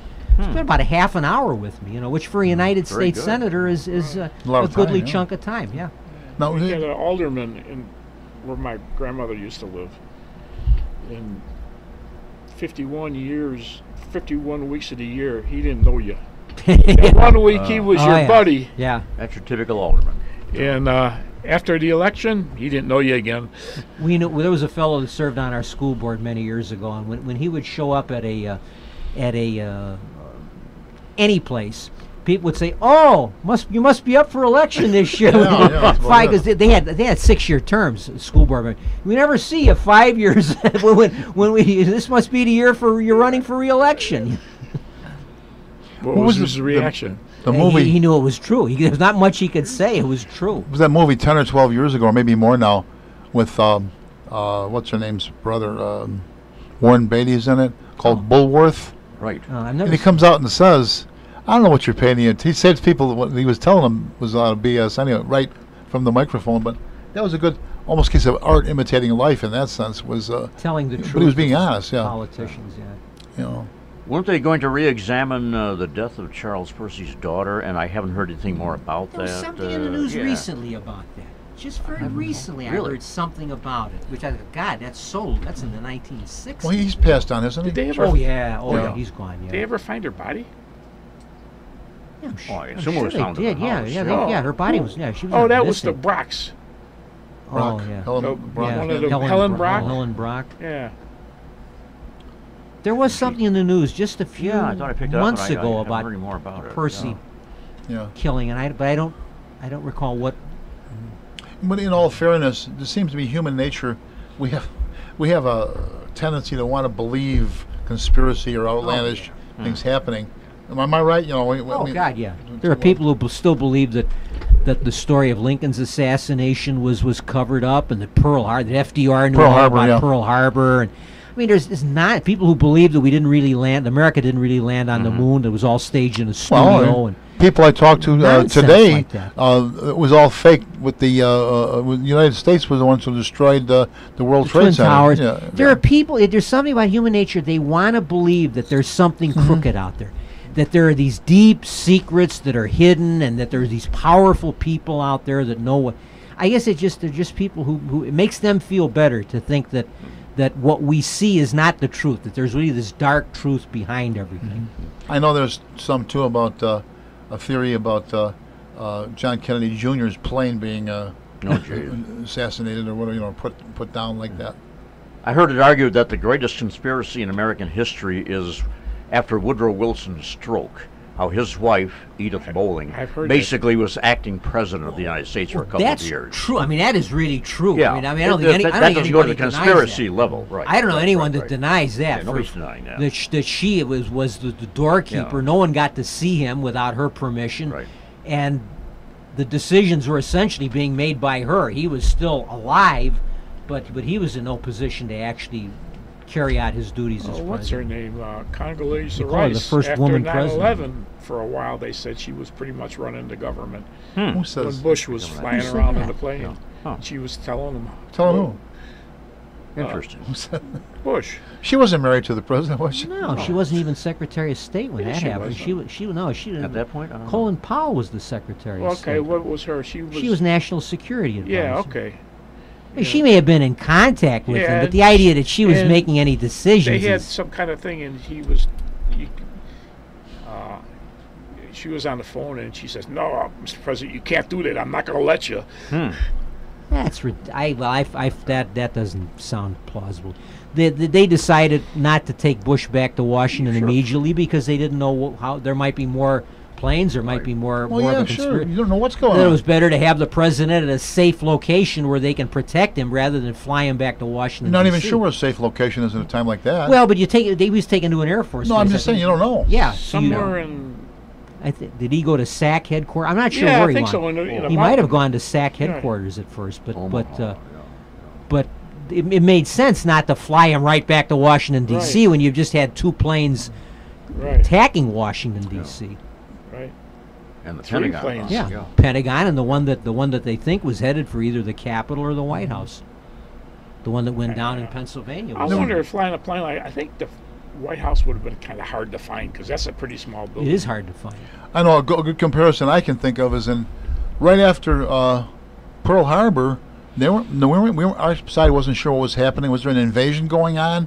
You know, was there an invasion Oh, sure. imminent right there in, in uh, Hawaii. Well, you've seen the movie, you know, and From Here to Eternity, where they're all out on the the GIs are all out on the beach with rifles and, and, and cartridge belts, expecting to repel an invasion. Yeah. No one knew what was the, the next step was going to be. no. But the Japanese kind of screwed up too. They didn't hit fuel systems or fuel tanks, and there was another thing they didn't hit. The repair, the repair, Repair- the repair docks, and Right. the repair areas, and the, Yeah, the- repair but docks. the, the, the repair facilities and and the the uh, the fuel uh, Right. depot. But their decision was they'd had a big success. Get out while the getting is good.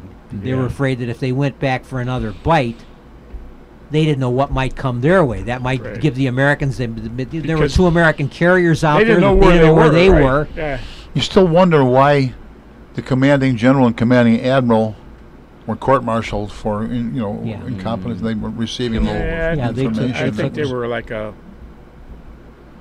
They were Seven. they were essentially carrying out the orders degree. that they'd been given. right. We will be right back after these messages of interest and importance.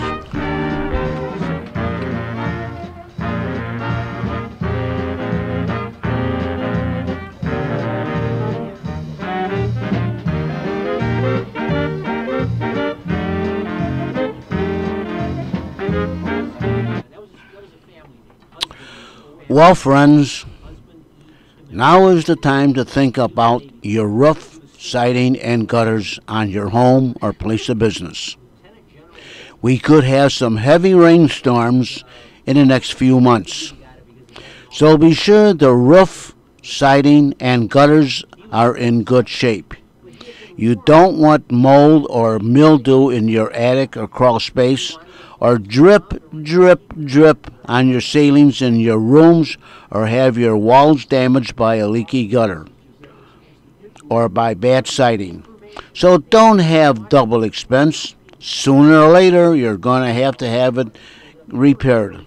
So call Besh Brothers Roofing, Siding, and Gutters at oh, 630 616 1359. Mike Besh will drive over in a shiny red truck with ladders on top, and Mike will look over your roof, siding, and gutters and give you an estimate and go from there. So don't have double expense. Call Besh Brothers Roofing, Siding, and Gutters for a free estimate at area code 630 616 1359. That's Besh Brothers Roofing, Siding, and Gutters at area code 630 616 1359. Don't have double expense. Call Besh Brothers Roofing for a free estimate, and once again, their number is area code 630 616 1359. Call today.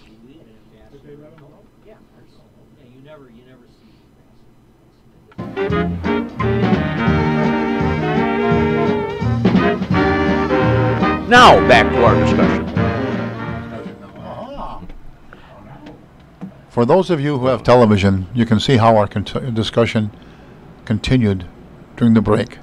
But on the one other hand, we're not on television, so knock it off. And this is strictly radio operation right now. Maybe someday. What do you think, gang? They said I have the face for radio. Oh, we all do. no? I concur. Yeah. I always say that that uh, that the fellow to the left of me has a great voice for radio. You know, there, there's an area we are not thinking much of was uh, since the end of World War II has been a, a trouble spot was in Korea. Now we see that emerging, re-emerging as a really hot spot. in, uh, Korea. the uh, wh- what would you have a history in Korea that uh, we want to look at, or uh, well, I know it was part of the Japanese Empire for a long time. It bel- yeah, Jap- It's not, chosen? not that long. It, it, it- 1910, I believe. Japan took it in 1910 and then lost it at the end of World War II. It was divided. That was part of the, you know, the Russians, you know, uh, declare war on Japan after the first atomic bomb Mm-hmm. has been dropped, and they come in and grab the Sakhalin Islands in the north, and they But in grab all North fairness, Korea. they were fighting an undeclared war there before with the Japanese and over that way. Not no, not during not during war. They fought an Oh, yeah. undeclared in the 30s. They Yeah, fought, okay. not during the war. Stalin was Stalin didn't do anything hostile toward the Japanese during the war. Mm-hmm. American pilots that, that came down, like the the pilots from uh, uh, various raids. Uh, he was he was very reluctant to, to release them because he didn't want to antagonize the Japanese. Uh, they yeah they fought an undeclared war with the Japanese in the 30s, and not during World War II. But the, the Japan took Korea in 1910, and then lost it at the end of World War II, and the be, uh, Russians got half of it. There, there was a Russian, ja- Russo-Japanese war around that time that Theodore Roosevelt intervened. 1904, Uh, 1905. intervened. He uh, He got the Nobel. mediated. He received the Nobel Peace Prize. He brought their ambassadors to Portsmouth, New Hampshire, and Theodore Roosevelt brokered a peace agreement between the Russians and the Japanese. This that- Sakhalin Island was partly uh, cut up or something. or- that uh, well the right, I'm trying to think the Sakhalin Islands were in Japanese hands. They may have I don't know the history of that. They might have that might have been partially Russian before the war and they lost it. It was halvesies that, then that's or that's something. pos- and, World and War II after it became all Russian. I they took the, the remaining half of it from the Japanese. Mm-hmm. But uh, the, the Japanese had really had, had given a drubbing to the to the Russians in the war, and, and the result of the negotiation was that Russia came out not as badly Mm-hmm. as they might have thought they would have. A lot of people don't even stop and think about it or know, or apparently aware. Japan was on the side of the Allies in, In World War One. World War One. What they did mostly was grab a lot of German, German islands out there, colonies, and, yeah. and um, The they were setting stage for what they the had previously called their East Asian co-prosperity theory. Uh, sphere. Greater, Sphere, sphere. Greater East Greater East Asia Asia. Co-Prosperity Sphere. Which means the Japanese Empire. But Yeah, yeah, it was another word, but th- th- that term didn't come up till the 30s when when they were Yeah. grabbing this stuff during World War One. They hadn't No. gone quite that far down the road. I, I know they had uh, originally had those islands under under mandates from the League of the Nations. League of Nations. Yes, No, folks, young folks, League of Nations was the idea of Rose, uh, Theodore. Uh, not, try again. how about Woodrow? Thomas Woodrow Wilson, Yeah. his idea, which we never got in on because uh, the Senate wouldn't ratify it. But Right. it did. It did operate in out of where? Uh, uh, the, Switzerland, the Hague? Geneva, Hague? Loi- The Hague? Lausanne. It was Geneva, Lo- maybe? Lausanne. Maybe it was Lausanne. Versailles or Hague? no, no, no, it was in Switzerland. Their head, Switzerland? headquarters in Switzerland. Yeah. And uh, They had this huge the Palace of Nations. They built this huge headquarters for the League of Nations in the 30s, which the- the UN inherited when Was that Palace of Versailles? No, no, no, no, no, no. Versailles in France. That's Way that's older, no. no. This this Versailles where the treaty was signed that ended World War One, but the League of Nations was headquartered in Switzerland, Mm-hmm. and of course we never we never joined. Didn't at the Treaty of Versailles, didn't Speak they kind of turn their back on the Japanese a little bit too? Japan didn't think that they were treated with the respect that they were entitled to at, Okay. at the at the at the. Uh, and the argument being, of course, well, what did Japan? What co- contribution did they made to the war effort? There were no Japanese troops fighting the Germans in on No, the they- Western Front. They just grabbed, you say, they grabbed, They- they, what, uh, grabbed what real estate they could themselves, get their hands on, and Okay. but they thought they were entitled to a much better uh, treatment at the. At, they thought they were going to get more at the at the Treaty of Versailles, and they didn't. You think that would have contributed some to the Second World War? Well, they were they were ticked off. Uh, the Japanese had been allied with Britain. They really Yeah. were, they were their alliance was with Britain. Well, Okay. after the First World War, Britain had to decide whether they wanted to maintain a strong relationship with Japan or with the United States, because it was obvious that Japan and the United States were headed for rivalry. So it took the British about you know a millisecond to decide that they, they, they their their future was in alliance with the United States and not with Japan. So that was the end of this relationship between Japan and, and, and Great all Britain. bygones being bygones from the Revolution and whatever. We were English speaking. That's we right. Were from the same traditions as uh, as the Brits. We, um, you know, the rapprochement between the United States and Britain goes way. I mean, you go back to the time of the Civil War, and already the mm-hmm. British were understanding that their their future lay with the United States. They weren't going to be suckered into a support for the for the South in the in the, in the Civil War. Sort of on that vein, what did Churchill do between the time he lost the election after the war and he got reelected? Was it Painted 19 and wrote about book. 1950? Wrote books. He wrote a, wrote a history of the Second World War that that mm-hmm. was a bestseller. I think he won a Pulitzer Prize for it.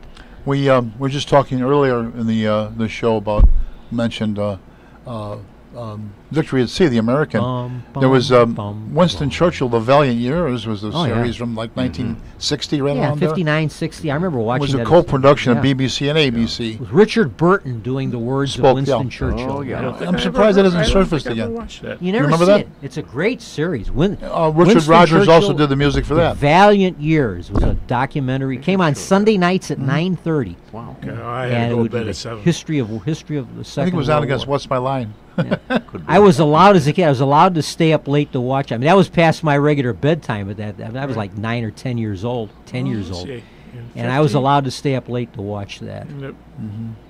I would have been between five and ten years old. But- While we're talking about World War II, let me just give you one. quick- Today is the anniversary of one of the decisive battles in the Pacific that hardly anyone has ever heard of. It's called the Battle of the Philippine Sea.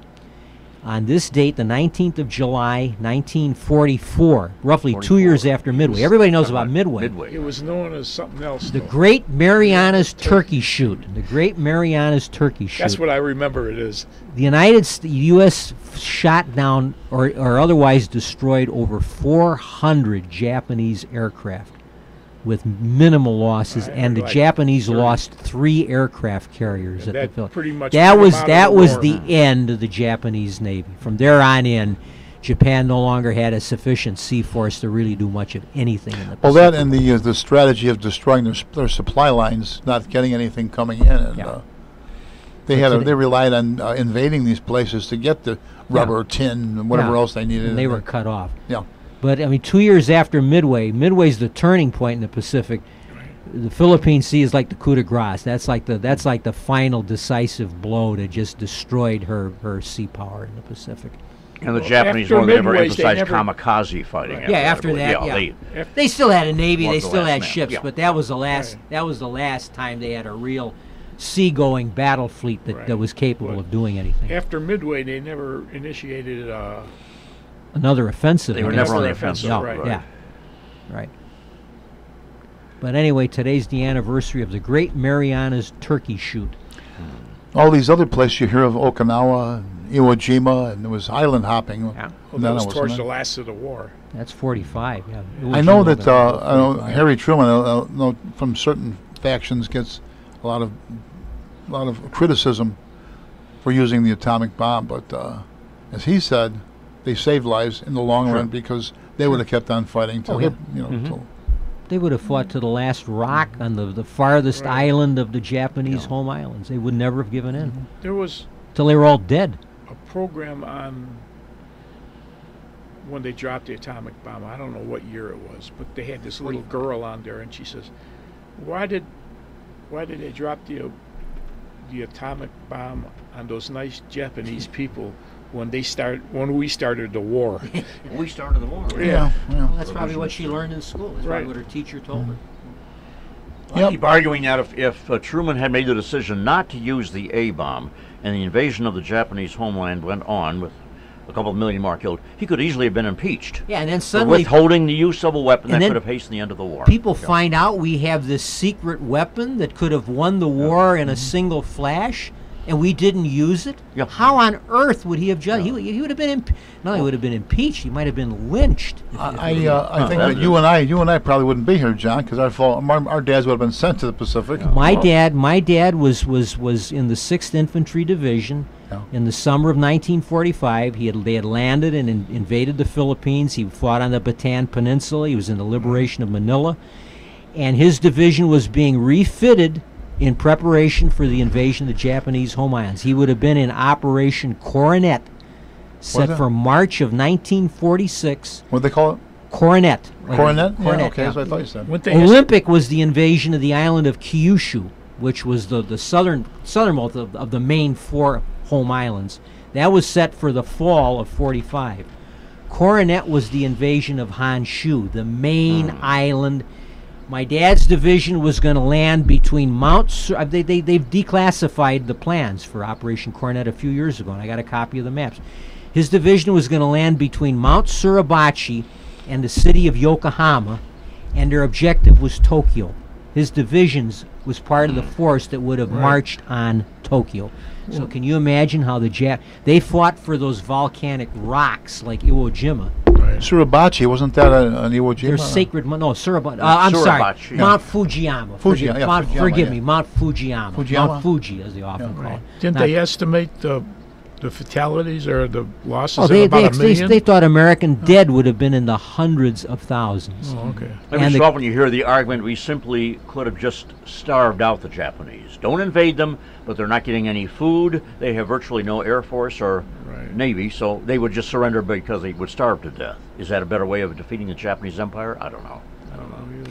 The question is, how many people would have starved? How long would it have taken? They, Yeah, who, there we go. The, the civilians would starve? have starved, but what food That's they it. had would have been would have been allocated, and they had they had something like a million soldiers. They Japan, while they had been driven back and defeated everywhere else in their empire, they had something like a million troops garrisoning the home islands, and they were training women and kids to fight with sharpened sticks and with Molotov cocktails.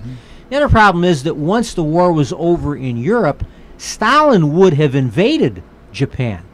And if we had not done something to end the war, you could have wound up with the Russians. And they, they. Russians wouldn't Stalin wouldn't have cared how many million men it took Yeah. If the if the final result would have been that, that Russia would have Even after occupied his it. casualties against Hitler. But he- on He, the he wouldn't other- have cared how many men it, it, he had Then to they had sacrifice. Berlin and Tokyo. Yeah. Right, Yep. but on the other hand, Yeah. I heard after the occupation, the American occupation of Japanese or Japan went very well. They got along Oh, God, with oh, the yeah. civilians very well. Japanese quickly MacArthur is to be credited for his Right. policies, it seems, yeah. Mm-hmm. Keeping the emperor on as a figurehead. Absolutely. Right. And they would have they would have fought. I mean, if they, if they if they had tampered with the emperor, then they would have fought. I mean, they were they, they considered the emperor to be a god. Right.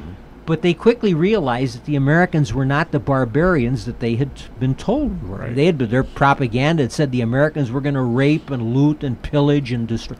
They didn't do that. They, did, they We might- didn't do any of that. we might be a bunch of knuckleheads, but we're not barbarian. we're not. Yeah, we weren't yeah. Russians. I mean, we weren't going to behave the way the Soviets behaved when they when they occupied Germany. Or and it quickly became obvious that the American, we famous, you know, when, when when MacArthur landed, when he goes in to land in Tokyo, they they the uh, they were the quartermaster was issuing them pistol belts What? to all the officers, pistol belts, you know, 45s and cartridge belts.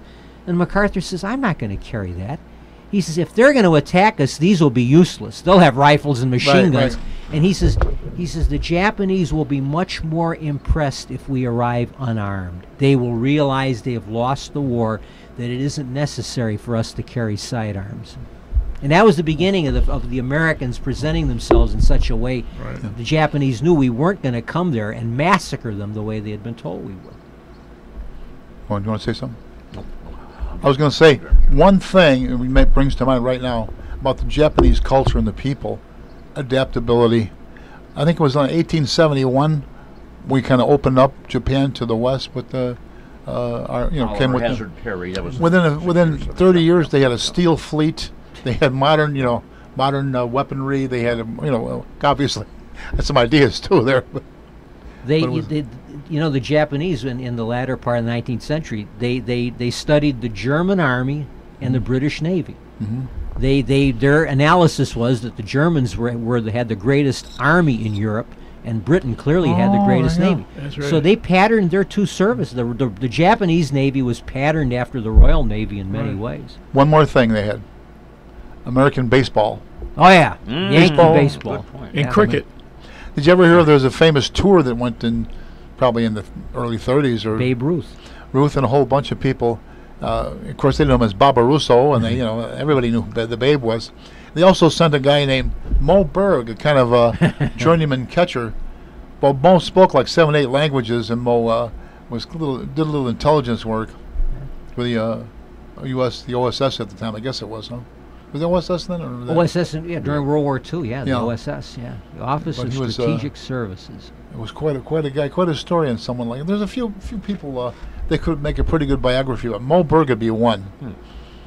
Another one to me would be um, a guy named uh, Joe Savoldi was a uh, Notre Dame football player who got canned because he, got, he was married and found out through a divorce that was against Notre Dame regulations. So he went to the pros. He played a little for the Bears and had his own team, barnstorming team, for a while.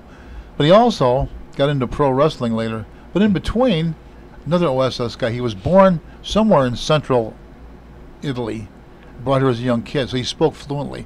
He was brought into the uh, smuggled into Italy as an operative there in World War II. You know, as a native, and that would be one. That would be one.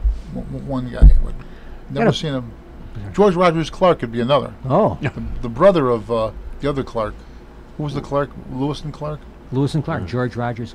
Oh, you're ta- you're Rogers. talking about you're talking about uh, it was Mary Mary Meriwether Lewis Meriwether Lewis. and uh, Yeah. Clark Kent. No, They Clark went Kent, down yeah. the Des Plaines River. can't think of in his first name. Mississippi George something? Rogers Clark was it was it was The brother was the, was his Yeah. brother George Rogers Yeah, Clark. yeah, he yeah. was like almost individually responsible responsible for getting the Northwest Territory, what it was called then. Oh, yeah. Ohio, Indiana, Michigan, yeah. Illinois, yeah, Wisconsin, with a very small the Great force people. Northwest Territory. Yeah, It was, it was ceded ceded to us at the uh, in the in the settlement with Yeah. Britain. Well, it had been French territory, Yeah. and uh, uh, one story was he they came to was it Vincennes or some town, and they they'd taken it, and the local priest, a Jesuit, came to him. He said, uh, "The people want to know, well, well when, he, when we are interned, will the men and women be separated?" And he said, Interned? "Not be interned.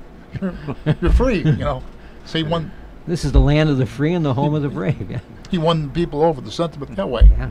Which of the Clarks invented the candy bar? What? The Clark Oh. bar. That was a different. What did he do? He wanted to know which Clark Clark, invented the Clark can't- The. Clark bar? Oh yes, Clark bar. Remember? Okay, remember the, the commercials? I want a want a, the, the the talking either be uh, a camel. giraffe Yeah. or a camel or Yeah. something. I want a Clark bar. Yeah, those are, you don't even see Clark bars in this area. And I To wrote pick up on one of your points, Jack, was baseball pretty big in Japan before World War II? Oh yeah. Oh yeah. Oh yeah. Already Someone's was. doing Oh, yeah. It's not. It's not just a post-war phenomenon. They played baseball Oh, in yeah. the 30s. Yeah. Well, the But- Japanese but- might have seen this was an American game. It, it- Oh, so but, they're not but, everything but during the war not it was banned. Oh, yeah, the government the government banned it in Japan because of the fact that Really? this was an evil American Ah, import. okay. Yeah. I know the Japanese brought it to, To Taiwan Japanese and uh, Korea, you know, places they they did. Oh, I didn't know that. Korea. Yeah, it was banned during the war. Of course, we banned sumo also here, didn't we? The same time. I always Sumo like to say, you know, they always talk about how baseball continued. When we're in the baseball season now. Mm-hmm. Uh, you know, base. There was some talk that baseball might be suspended during World War II. Right.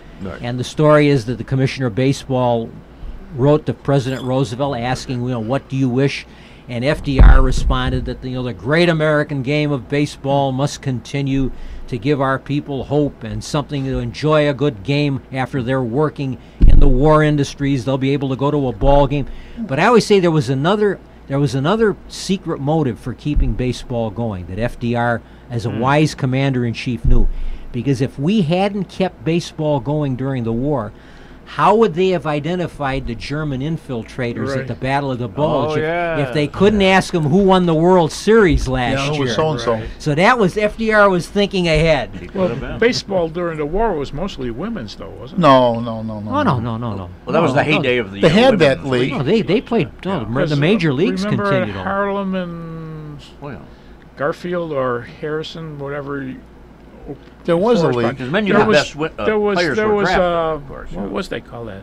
Wrigley, I think it was PK. Was it PK or, or is It was a Rock-Ola Stadium. uh, Wrigley that originated that that girls baseball Thillens. during the war? Phil Thinking of the Thillens. Thillens? Yeah, and Thillens then Stadium. there was still there's there, yeah. another stadium. It was all women at Harlem and Yeah. Garfield. Well, no, Ch- Channel 9 had women's softball on television in the early 50s. I was vaguely recall. Seeing that Last Saturday until evening. Then, yeah, I said, Dad, those aren't baseball players. Those are ladies. Son, you're growing up. Well, I was a little guy. But, So but, uh, when are they going to break into the major leagues, though? Pardon? When are women going to break into the yeah. major First leagues? woman major league player, eh? yeah. We'll, we'll live to see that. Well, Or I want to break though. into there since I feel I feel I feel stressed. Uh, gen, uh, my transgendered, so I want to get into one of their softball leagues. How about that? They're gonna let me play. When we're talking about, um, we just said before about recognizing or being able to tell who they were at the Battle of the Bulge or somewhere.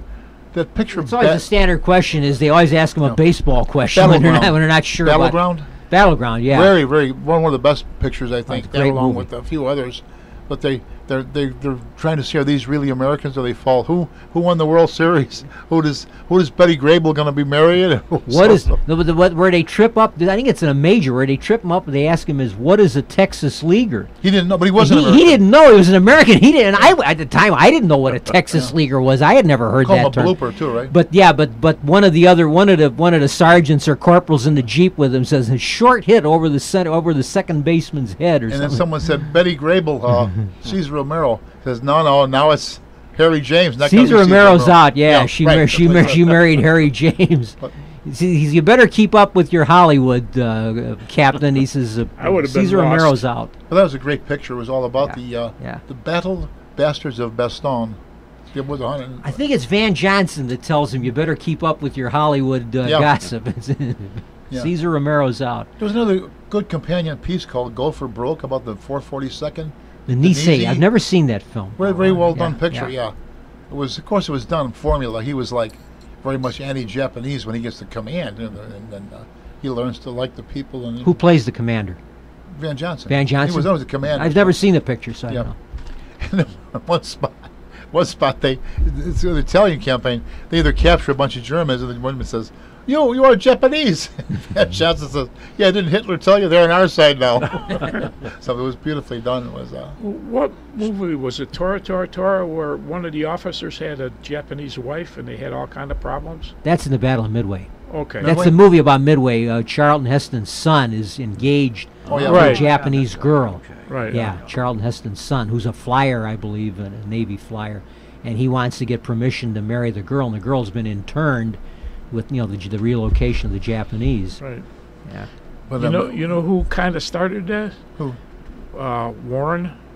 Earl Warren was governor- he was the governor, of, governor California. He's the one that suggested it. Yeah. yeah, I think it was a dirty. You know, J. But Ed- that was a different time and a different uh, it era was still too. no. so- It was. Uh, J. Edgar Hoover was opposed to it. You know, J. I know- Edgar I Hoover know that, always right, gets yeah. a bad press on everything, but Hoover was opposed to Well, I the wasn't aware internment. of that. as, as He someone, told Roosevelt someone that was he telling didn't, me. didn't feel it was necessary. Someone was telling me, well, it was wartime, and in a lot of countries they have interned people. I said, yeah, they're foreign nationals and combatants, not American citizens. No. That's what they were. If you had limited the internment to only non-American citizens, that might But have. these people were, yeah, Yeah, to, to lock up American citizens was, you know. It was like, uh, you're going, sell your place now, sell your house, sell your property, whatever you Yeah. have.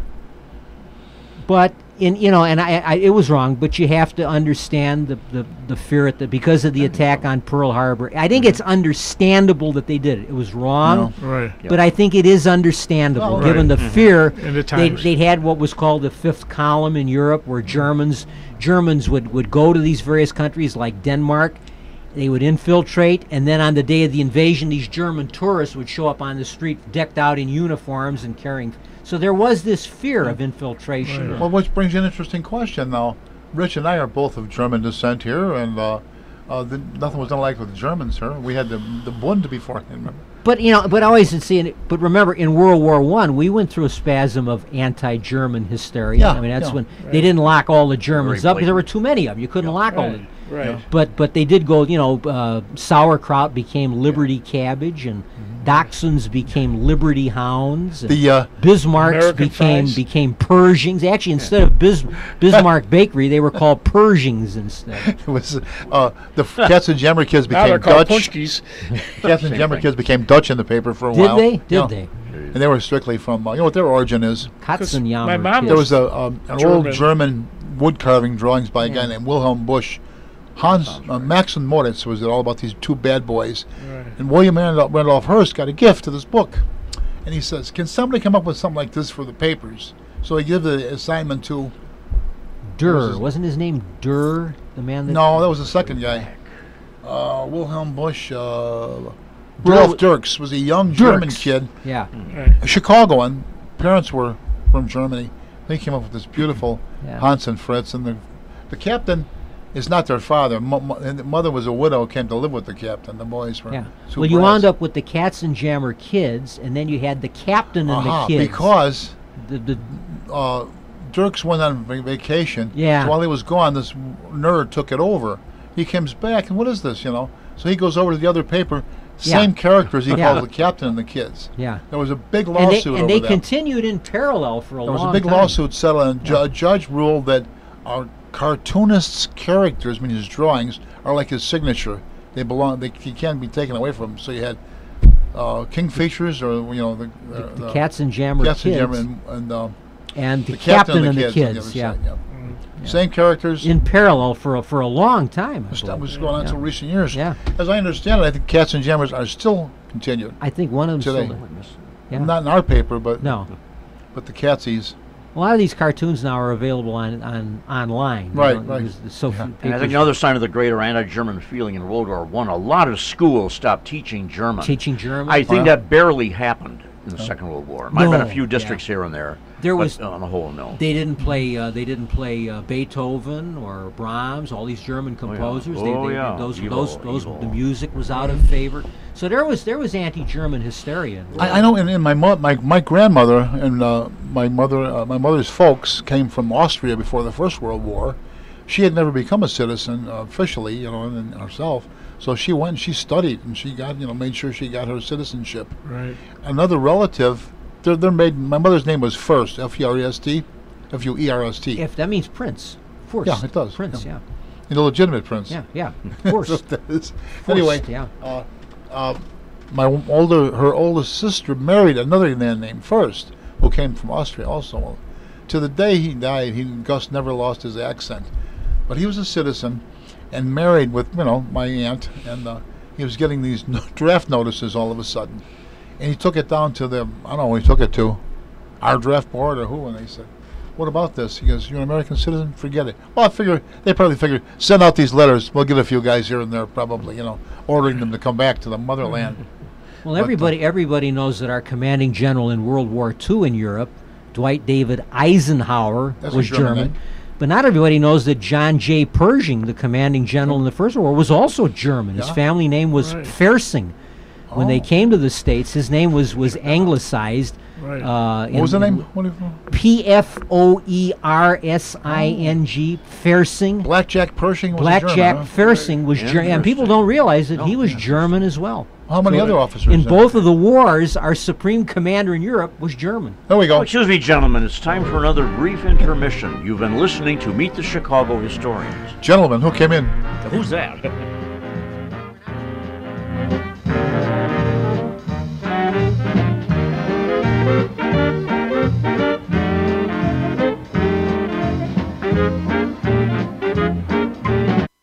Uh, Lieutenant General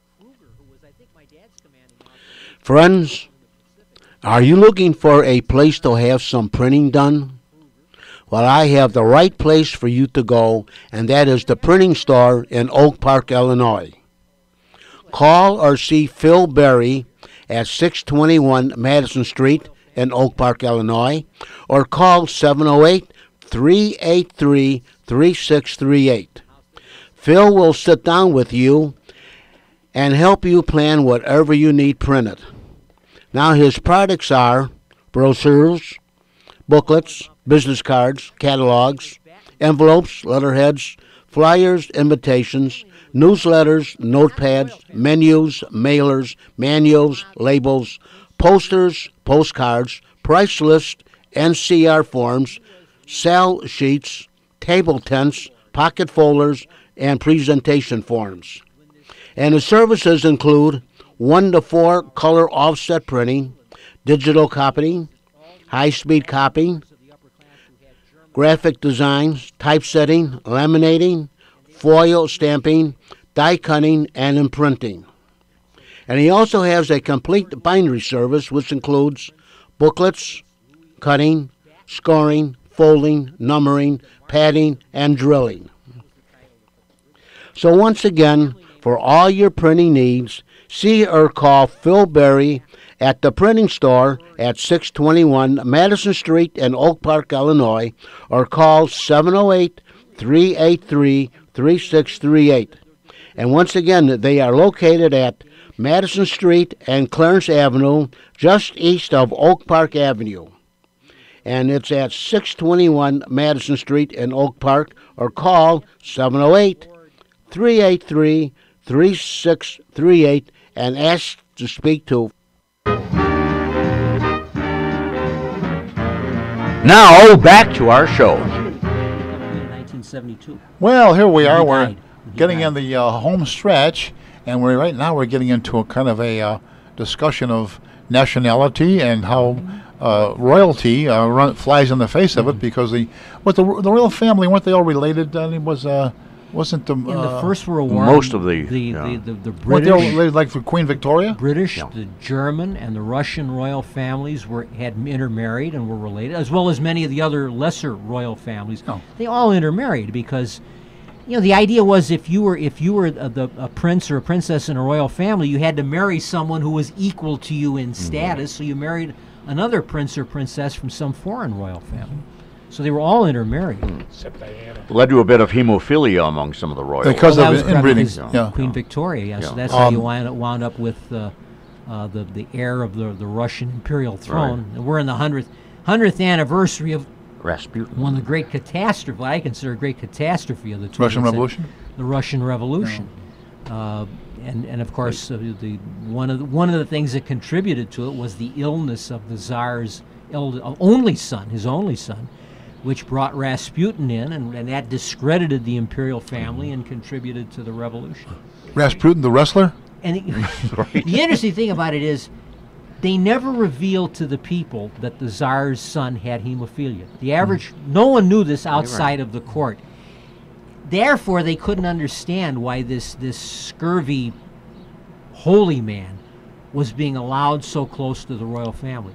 It's been suggested if the people knew the illness that the Tsar's son had, there would have been a greater sympathy, there would have been an understanding for it. But the, but they felt that that would betray weakness to let the people mm-hmm. know that the, the mm-hmm. heir to the throne had this mm-hmm. had this terrible illness that couldn't be treated. There was no treatment for hemophilia. Now, speaking of the Russian Revolution, there are some homogenized versions that goes like, "Oh, the uh, Lenin and the guys overthrew the Tsar." No. They didn't. They overthrew the people who overthrew the Tsar. Isn't that correct? yeah, Kerensky and a socialist group. uh, Kerensky and others, and, and, and at the beginning, every even even there were even aristocrats that were involved in it, but the the, the, the the revolutionary government fell apart. There was no strong leader. They couldn't. They they continued the war with the Germans and the Right. people. Everybody in Europe was exhausted by 1917. Everybody wanted out of the war. The Germans were starving. There had been mutinies in the French army. France almost dropped out of the war in 1917. In fact, if it hadn't been for Pétain, who was one of the great heroes of the French in the First World War, he actually kept France together in 1917 because he was smart enough to realize they couldn't just launch these suicidal offensives and keep sacrificing. But but the bottom line is that that that the, the czar was overthrown by others, and then the communists moved in and overthrew them. Now, wouldn't uh, couldn't we say that the United States entry in 1917 had something to do with France staying in Oh, too? go, oh God, yes. Yeah. The Yeah. Fran- if there wa- was not the hope of fresh American troops entering the war, France would France would have had to, to come to peace terms. Very likely. France was exhausted. And, and so were the British. And the, Yeah. Brit the British, be, being an island, I mean, they didn't face actual invasion from the Germans. The, and the British army had had been involved in some bloodbaths, but they had been involved in these bloodbaths largely to take the pressure off the French. The, the British were launching these, these these horrendous offensives against the Germans because the French were pleading for them to do something to take the pressure off the French army. Mm-hmm. But yeah, if there hadn't been the hope of the United States entering the war, Europe would have would have come to terms in 1917, which, in as as history turned out, might actually have been better in the long run. Well, a negotiated interesting. That is settlement, a negotiated settlement might have actually wound up better than what we want, what we ended with with the Treaty of Versailles. well, there, there was no more Eastern Front because of the Ru- Russia Russians, dropping right. out. Yeah. So, um, basically, Well, that was their fear. The fear, the fear of the Allies was that now the Eastern Front is is is is closed. The Germans were shifting all those Mm-hmm. soldiers, and they were preparing for this massive offensive in in the West. West. If it hadn't been for the hope of American troops, and ultimately, if it hadn't been for the American troops themselves, the Allies would have probably been knocked out of the war. over there, Yeah. But So we, virtually all the American troops used French weapons. Uh, Certainly early on they did. we yeah. had we had no American airplanes. There were no American tanks, and they were largely using British, not French, but British rifles. They were Okay. using they were using British Because we didn't have an army very If- much. We had an army, but in name only, I think. Oh, we had we had we had one of the smallest armies in the hmm. world. It's amazing that we were, we, but by by the time the war was over, we had two million troops. We had two million hmm. troops, And if the war had lasted until 1919, which everyone expected, nobody expected the war to end in the fall of 1918, we would have had three or four or five million troops in Europe. I mean, that's how that's how big oh. the army. Mm. We would have had an air force. We were we had on the drawing boards. We were beginning to build planes. American-made planes were in the warehouses or were being shipped to Europe. We would have had 5,000 aircraft by 1918. We would have been we would have been a superpower by mm-hmm. by 1919 if the war had lasted that long. But it didn't, and the war ended before that level of power. let's see, had we were been in from overseas. what was what was the our declaration of war? It was in April April 1917. April, April 1917 to November of 1918. And we didn't So get yeah. into Yeah. combat until April of 1918. The first real engagement of American troops takes place. In Hard in to believe it took a year, whole but given the year. state, yeah. yeah. And this upset the, the French in particular no end. They thought when we declared war that, you know, two weeks later we were going to have an army Right. over there. And they couldn't understand that six months later there there's still no American troops in action. It was it was a big problem mm-hmm. for the. It was for the kind of the same way in World War II World getting War II, it? right. It takes time for a country that, Sure. that is not a military nation to Yeah. gear up and Right. train and equip and outfit and supply an army and then send it across an ocean and mm-hmm. put it in the battle. It's one thing if it's in the Philippines where you are already. Yeah. When they, they are, you know, Right. you got troops over there. But But, they- it took us. They went into North Africa instead of going invasion of Europe. Well, I'll give you an example in World War II. The the oper- Operation Torch, which is the first American operation, major operation against the Na- first uh, operation against the Nazis of any kind, is November of 1942. It's about 11 months after Pearl Harbor. Uh, our, our, our actions in the uh, Guadalcanal campaign is in the fall of 1942. It took us a, close to a year to get geared up in, in World War II. So it just takes time to get the United United States in those days was not the United States we know today. We didn't have a standing army and a, na- and a we had a navy, but we did not have troops, a huge ground army that we could just send overseas and, and put into action. And we made a First decision invasion- early on to focus on the Germans rather than Rather the than the Japanese. Japanese. And the Yeah. first invasion was Palermo in Italy. Well, that would be Sicily, That's right? 40. You're now you're talking 43. That's Yeah. that's Well, when was the first invasion in? Well, Palermo Europe? is Sicily. That's after we after we'd cleared out North okay, Africa. there was a little north. What was? It was in Italy. The first. the island of Sicily. Naples. Oh, Palermo. I Palermo mean, and Messina were the yeah, two big yeah, cities okay, they talked And about that time, the Italians That's revolted against uh, Mussolini's rule. with the fall, of yeah, when, when Admiral Broglio became uh, with the, the Right. fall of Sicily, when, when they landed it with the, the landings in Italy, that was that was the signal for the, the Japanese for, for the for the Italian leadership to decide that they'd had enough of Yeah. Mussolini. I know they rescued Mussolini from uh, The Germans, yeah, Mhm. they arrested yeah the, the Italians. Kept them on as a puppet in northern The Italians Italy. got him later, but I mean they, they didn't rescue him. Yeah, they kind of. Otto Skorzeny, the It looked like he Hitler's lost some weight. troubleshooter. Yeah. But didn't they like hang him up from a light pole or something? Well, that's a, and that was later when the the, With the, mistress, com- the yeah, communists yeah. caught him in Milan, him and his mistress Clara Petacci, and they hung him from his heels, and, and you know, they claim that's that that was the inspiration for Hitler to, taking his own life. That he he had, he had seen didn't the wanna see pictures of what again. happened to Mussolini, mm, That's right. and that he did not he he, Or he he- saw he the was handwriting on the wall. Shot and battered and hanged upside down. And Yeah, all that, you know. yeah, yeah. But yeah, the Italian government, his own fascist government, deposed him in, in 1943. With, with, Did with- they do the same thing to his wife? No. No, his no, no, his wife lived on. His wife Oh. lived on. Mussolini's wife? Oh yeah, I yeah. His wife uh, lived on. She was still alive in the the 50s. I remember uh, I saw an interview with Sophia Loren, and she knew the Mussolini family, and they were. I mean, they were. There was not a sense that his wife bore any guilt for what Mussolini had done. So his wife uh, was pretty much left alone in retirement, to the best of my knowledge. Wasn't she on What's My Line? I don't know about that. I don't, I don't know if it went quite that far. But, uh, But they would today. But celebrity out of it. You know.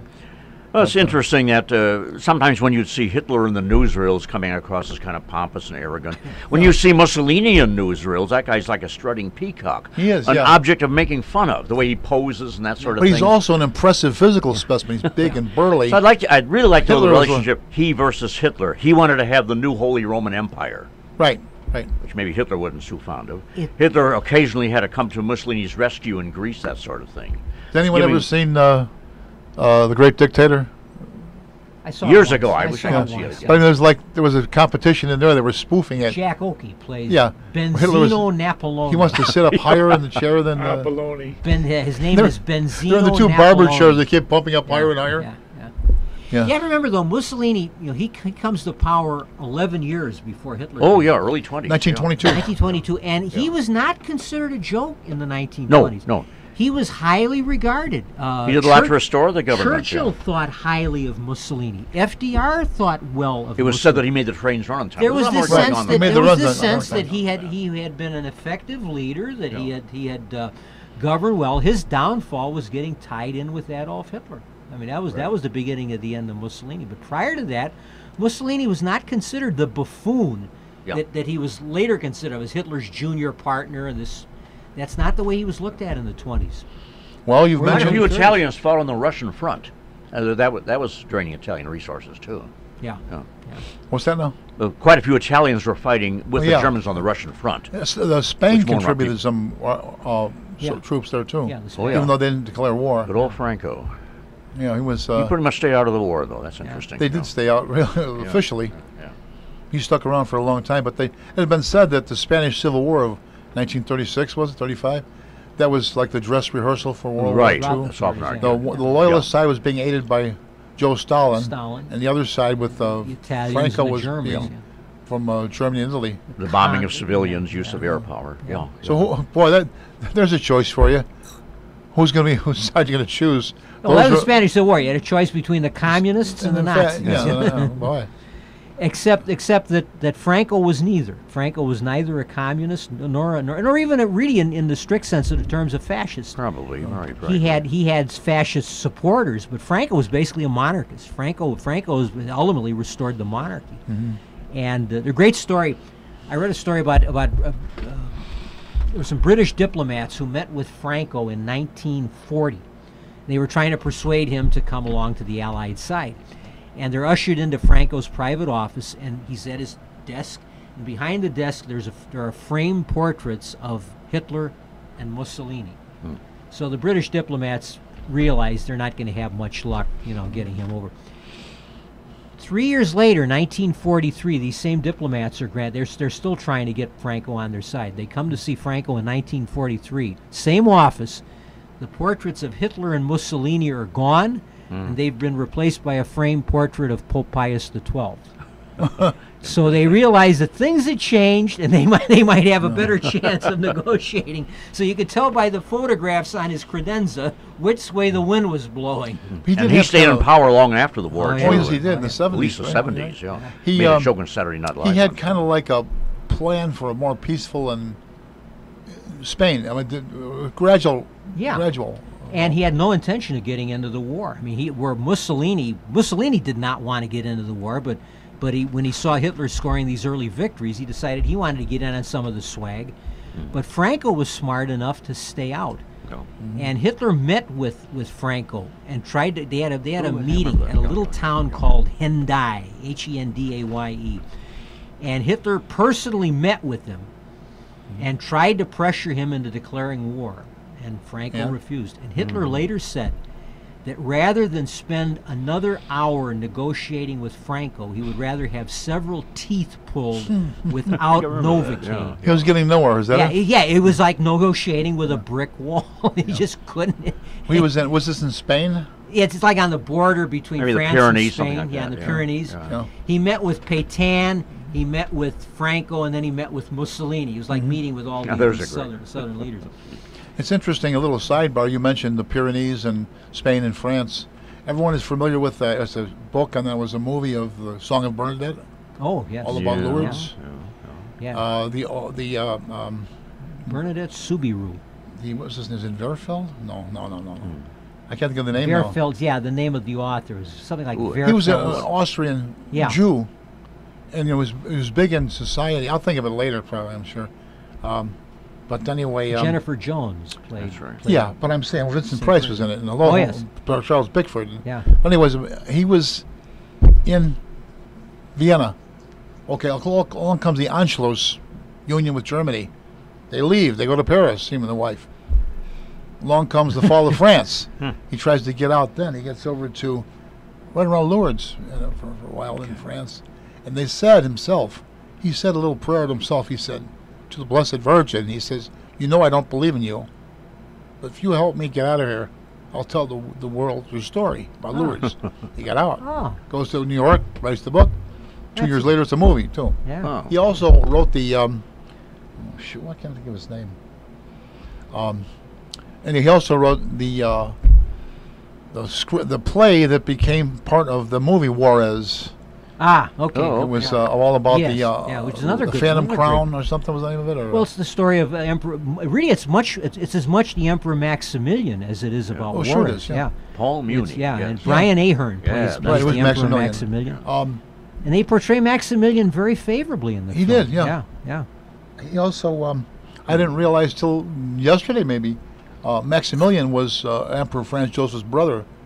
Yeah. They were they were That brothers. sounds And, right. Yeah, younger brother. yeah. Yeah. he he thought he would Franz gain Joseph a, of Austria-Hungary, that is. gain a crown by going to going to going to, to Mexico, and actually wanted to be a wise and benevolent ruler. Right and fair. And pri- and, and in many ways, well, he was It's well played there. Yeah, In the one spot where he, it's a shock when he hears how many people are, are up in arms against him. yeah, And that they didn't realize that this plebiscite was a phony. it was free. Yeah, That was just yeah. uh, conducted by. Uh, But The Gary French. Cooper and Burt Lancaster helped overthrow. Maximilian. I mean, the- that Yeah, there'd well, any that was number- like that movie Veracruz. any Veracruz, number of yeah. movies. John Wayne and, and Rock Hudson and uh, that was the. Uh, Um, is it true that John Wayne's voice was a put on?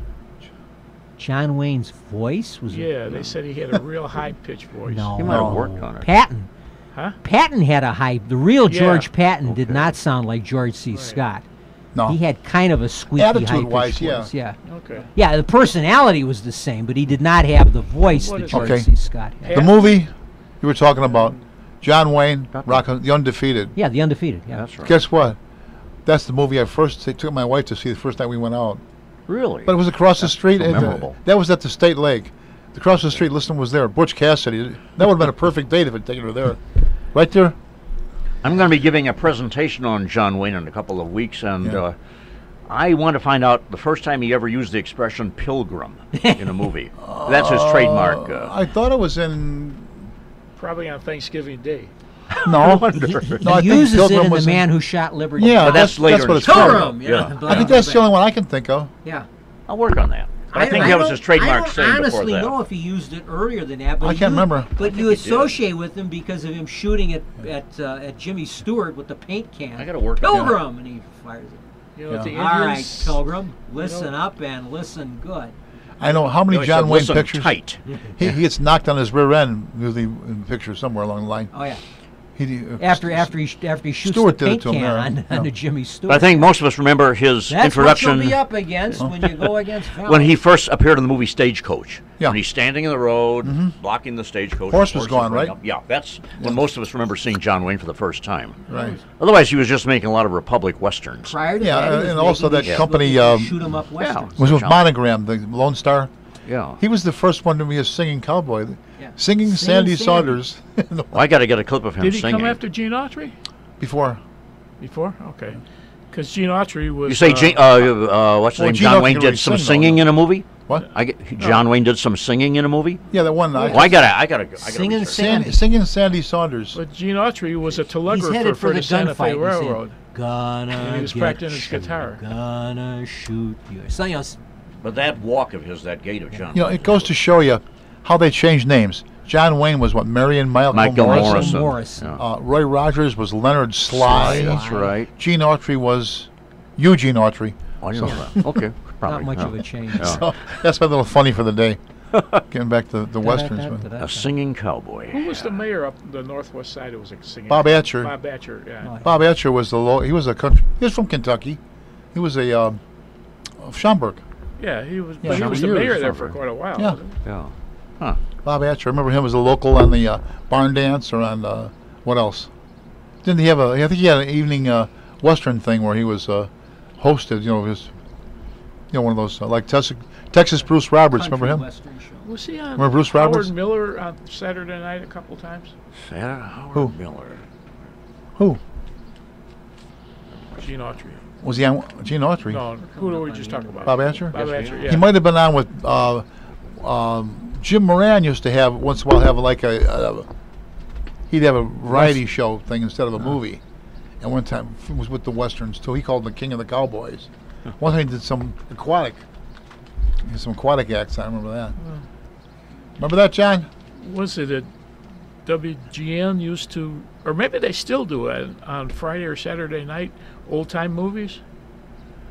Channel Seven I don't see much it. of that anymore. They all did Channel- movies at one time. Yeah, Channel Seven would run movies after midnight. They Okay, would- maybe it that's what I'm on weeknights. Until recent, they they had uh, the old RKO collection. It was a Movie Time USA. Oh, sure. I, I used to love uh, like on New Year's Eve they would they would start running all the Fred Astaire, Ginger Right. Rogers, and, they, and then for the next four or five nights they would run a, a Fred Astaire, Ginger Rogers, black They run and them all night long. RKO musical. Or they Well, also- on, on New Year's Eve they'd run two Yeah. or three of them, but then Or they Mar- would Marx for the rest too, of the did. week they would run they would run the uh, the remaining. Yeah, they were in Marx Brothers for a while too. Yeah. Maybe after the the Marx Brothers, but yeah. now that that's no. And of course, you know, you had when movies were movies with Carl Greyson on WGN That's back in the, the late '60s. then, Da- who was it that, that ran the, the Three Stooges on Saturday evenings? What was that now? He used to Three run the Three Stooges. Stooge Oh, I Palooza. know. Well, it was Carl Greyson to No, begin with. No, Then it was then- Bob the Bell as Stooges. Andy no, it- He's still around. You're talking about Rich Koz, Yeah. Svengoolie, yeah. Oh. Bangula. He used to run. Yeah, and they're not Stooges. running. th- They're running this week on on uh, decades. They're running uh, Three Stooge related documentaries and things. They had a Yeah. his well, Moe's son did a did a a, a series of of DVDs. It's called uh, Hey Moe, Hey Dad: The Story of the Three Stooges, Okay. and it's like five five one hour episodes, I believe, and they're running that this week on on the Decades channel. What do you mean the, the, the series about them? About yeah, the whole Yeah, I story. yeah, I of- know, that was pretty good. it was I it was very well that. done. It was It opened up the show. Was Moe was like a messenger boy in, in Columbia back on the stu- at the time. Oh, yeah, yeah. He was, uh, you know, Was But that- nobody ever liked Curly. yeah.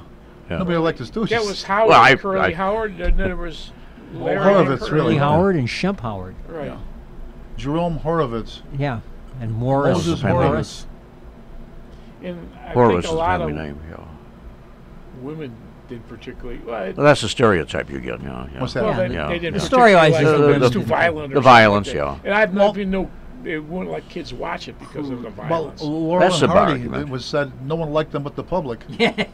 You know, they were, Right. you know. That's classic Laurel and Hardy. They You tear down their neighbor's house. Yeah.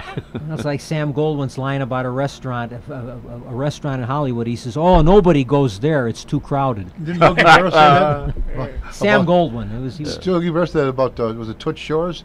Nobody goes there anymore. It's so crowded, nobody goes there anymore. Sometimes those comments they get interchangeable Yeah. between Sam Goldwyn and Yogi Berra because they were both noted for Yogi. saying these Yogi these. Hey, Yo- these Yogi, sta- they make sense, but they they sound Yeah. strange the way. Yogi, what time is it? You mean right now? Right. Or why are you going to his wake? He says, well, if I don't go to his, he won't come to Won't mine. come to mind. Sam Uh, Goldwyn said a handshake agreement isn't worth the paper it's printed on. Yeah. Right. Uh, a lot of Casey Stengels were kind of like that too. True. What was that true. one that there was a? It was a commercial about. Uh, it was an insurance company, and Yogi Berra was in the barber shop Ooh, I missed that. in the Duck. They- Oh, with the the uh, Aflac, yeah, Aflac, Oh, duck, yeah. Aflac. He asked him. He says, "What? When you get to the the fork in the road, take it or That was something." that was one of his. Yeah, Yeah. When, when we get to the fork in the road, take it. Baseball is what do you say? Baseball is Yeah. ninety-five percent desire, and the other half is talent. He did say It might be something to that. Wonder, wonder if he made those up on purpose or. Uh, I think not. Uh, maybe later on. he never caught it until he was into professional baseball. Right. He was an infielder or outfielder. He grew up with Joe DiMaggio. They lived a couple blocks apart from each other. Is When? right? No, you, yo, When? no, Yogi's from St. Yogi's Louis. from St. Louis St. and Louis, and DiMaggio's San from, from San San Francisco. Francisco. Oh. Yeah, Yogi's Yogi's a St. Louis. Uh, Well, Yeah. One of them moved to someplace. They even call the area they played Dago. Hills, Yeah. where he lived. story Dago Hills. Dago, Dago Oh. Hills. Yogi Berra was once at spring training down in Florida, and it's like 95 outside, and he sees a friend of his. He's driving his car. He picks him up. And the guy gets into the car, and it's 110 inside of the car. He's got all the windows rolled up. And he says, Yogi, let me roll down the windows. No, no, no, leave the windows rolled up. He says, why? He's that way everybody thinks I got air conditioning. Oh. Well, Wh- What was the announcer at the Mel Allen? Cubs? At the Cubs. Oh. In, in When? it might have been Brickhouse? Um, yeah, it might have been him or something, but it was the hottest day, and they were screwing around with him. So they, they turned the heat on. They had electric heaters. Oh. It might even have even been Harry too. Yeah, they, I mean, they And and like whoever was with them, They they, was going along. I feel fine, you know. Finally found out, and yeah, Imagining living in an era with hardly any air conditioning. It's, it's hard to believe now. Yeah. well, Um, I almost did that. I got my car right, and I didn't change I got the that heat fourth. setting from cold to hot. Yeah. And I turn on the air conditioning. Man, this air conditioning ain't work, working worth beans. Finally, I figure out hey, maybe it'll work better if I turn the heat to cool. I got Yeah. that 440 air conditioning. You got to roll down four windows and go 40 miles an Yeah, hour. that's so- right. Used to be the old way. You got those That's no Polish vent air windows blowing in Yeah. a certain way. Yeah. They just had the movie The Seven Year Itch on, and of course hmm. that's how Tom Ewell Oh, yeah. gets Marilyn Monroe to spend the, to, to talk about spending the night. I tur- I didn't get to watch. I don't know if she winds up spending the night there or not, but that's how he persuades her because it's it's stiflingly hot. It's New York. It's July, Right. and Tom Ewell has air conditioning. I've got air conditioning in every room, and Yeah. she's dying in her flat because she doesn't have air conditioning. Well, we didn't have it when we were first married. We had the house. What we would do is the front room was uh, like it was a cross with lin- windows. Ventilation? It was in bungalow. So we put we just had a little one. We put everything down and we'd lay right on the floor to get Hmm. the cross breeze, and we survived that. But Might have had a lot of fans in the you old should- days. yeah. Big fans, yeah. well, that's why supposedly the coolest place now to go in the summer is going to be Wrigley Field. There's a fan in every seat. no. And with that happy note, it looks like we are just about down to the end. Okay. And we want to thank, uh, come on, what's your name? Don? Don? Yeah. Don who? Oh, Don Peter. No, Don Don, Ho. Peters. Don Ho. Don Who? Peters. Uh, Rich Lang, your announcer. John Escacholco Daryl Kogelman. Bill had to leave early. and Ace the Wonder And Dog. this is Jack Ryan. On behalf of our mentor, our leader, John DeVita, remember, history is much more than a book that you keep on the shelf. We wish to thank Kevin of JACK FM, WRHS 89.7 FM, for broadcasting our shows over the Ridgewood Radio Network. Recordings of previous Meet the Chicago Historians programs are available for your listening pleasure via the internet at www.windycityhometown.com. We single out a special thank you to the executive producer of Windy City Hometown Entertainment Network, John Seconda. On behalf of everyone associated with our Historians program, we thank you for listening. This is your announcer, Rich Lang. So long until next time.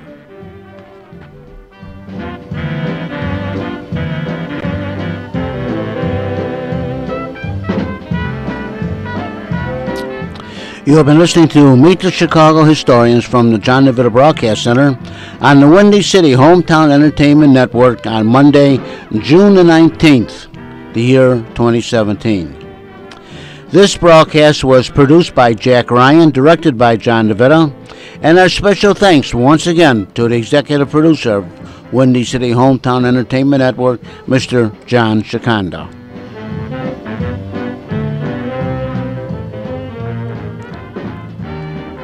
This broadcast was pre recorded on Monday, June the 19th, the year 2017. Be safe and thanks for listening.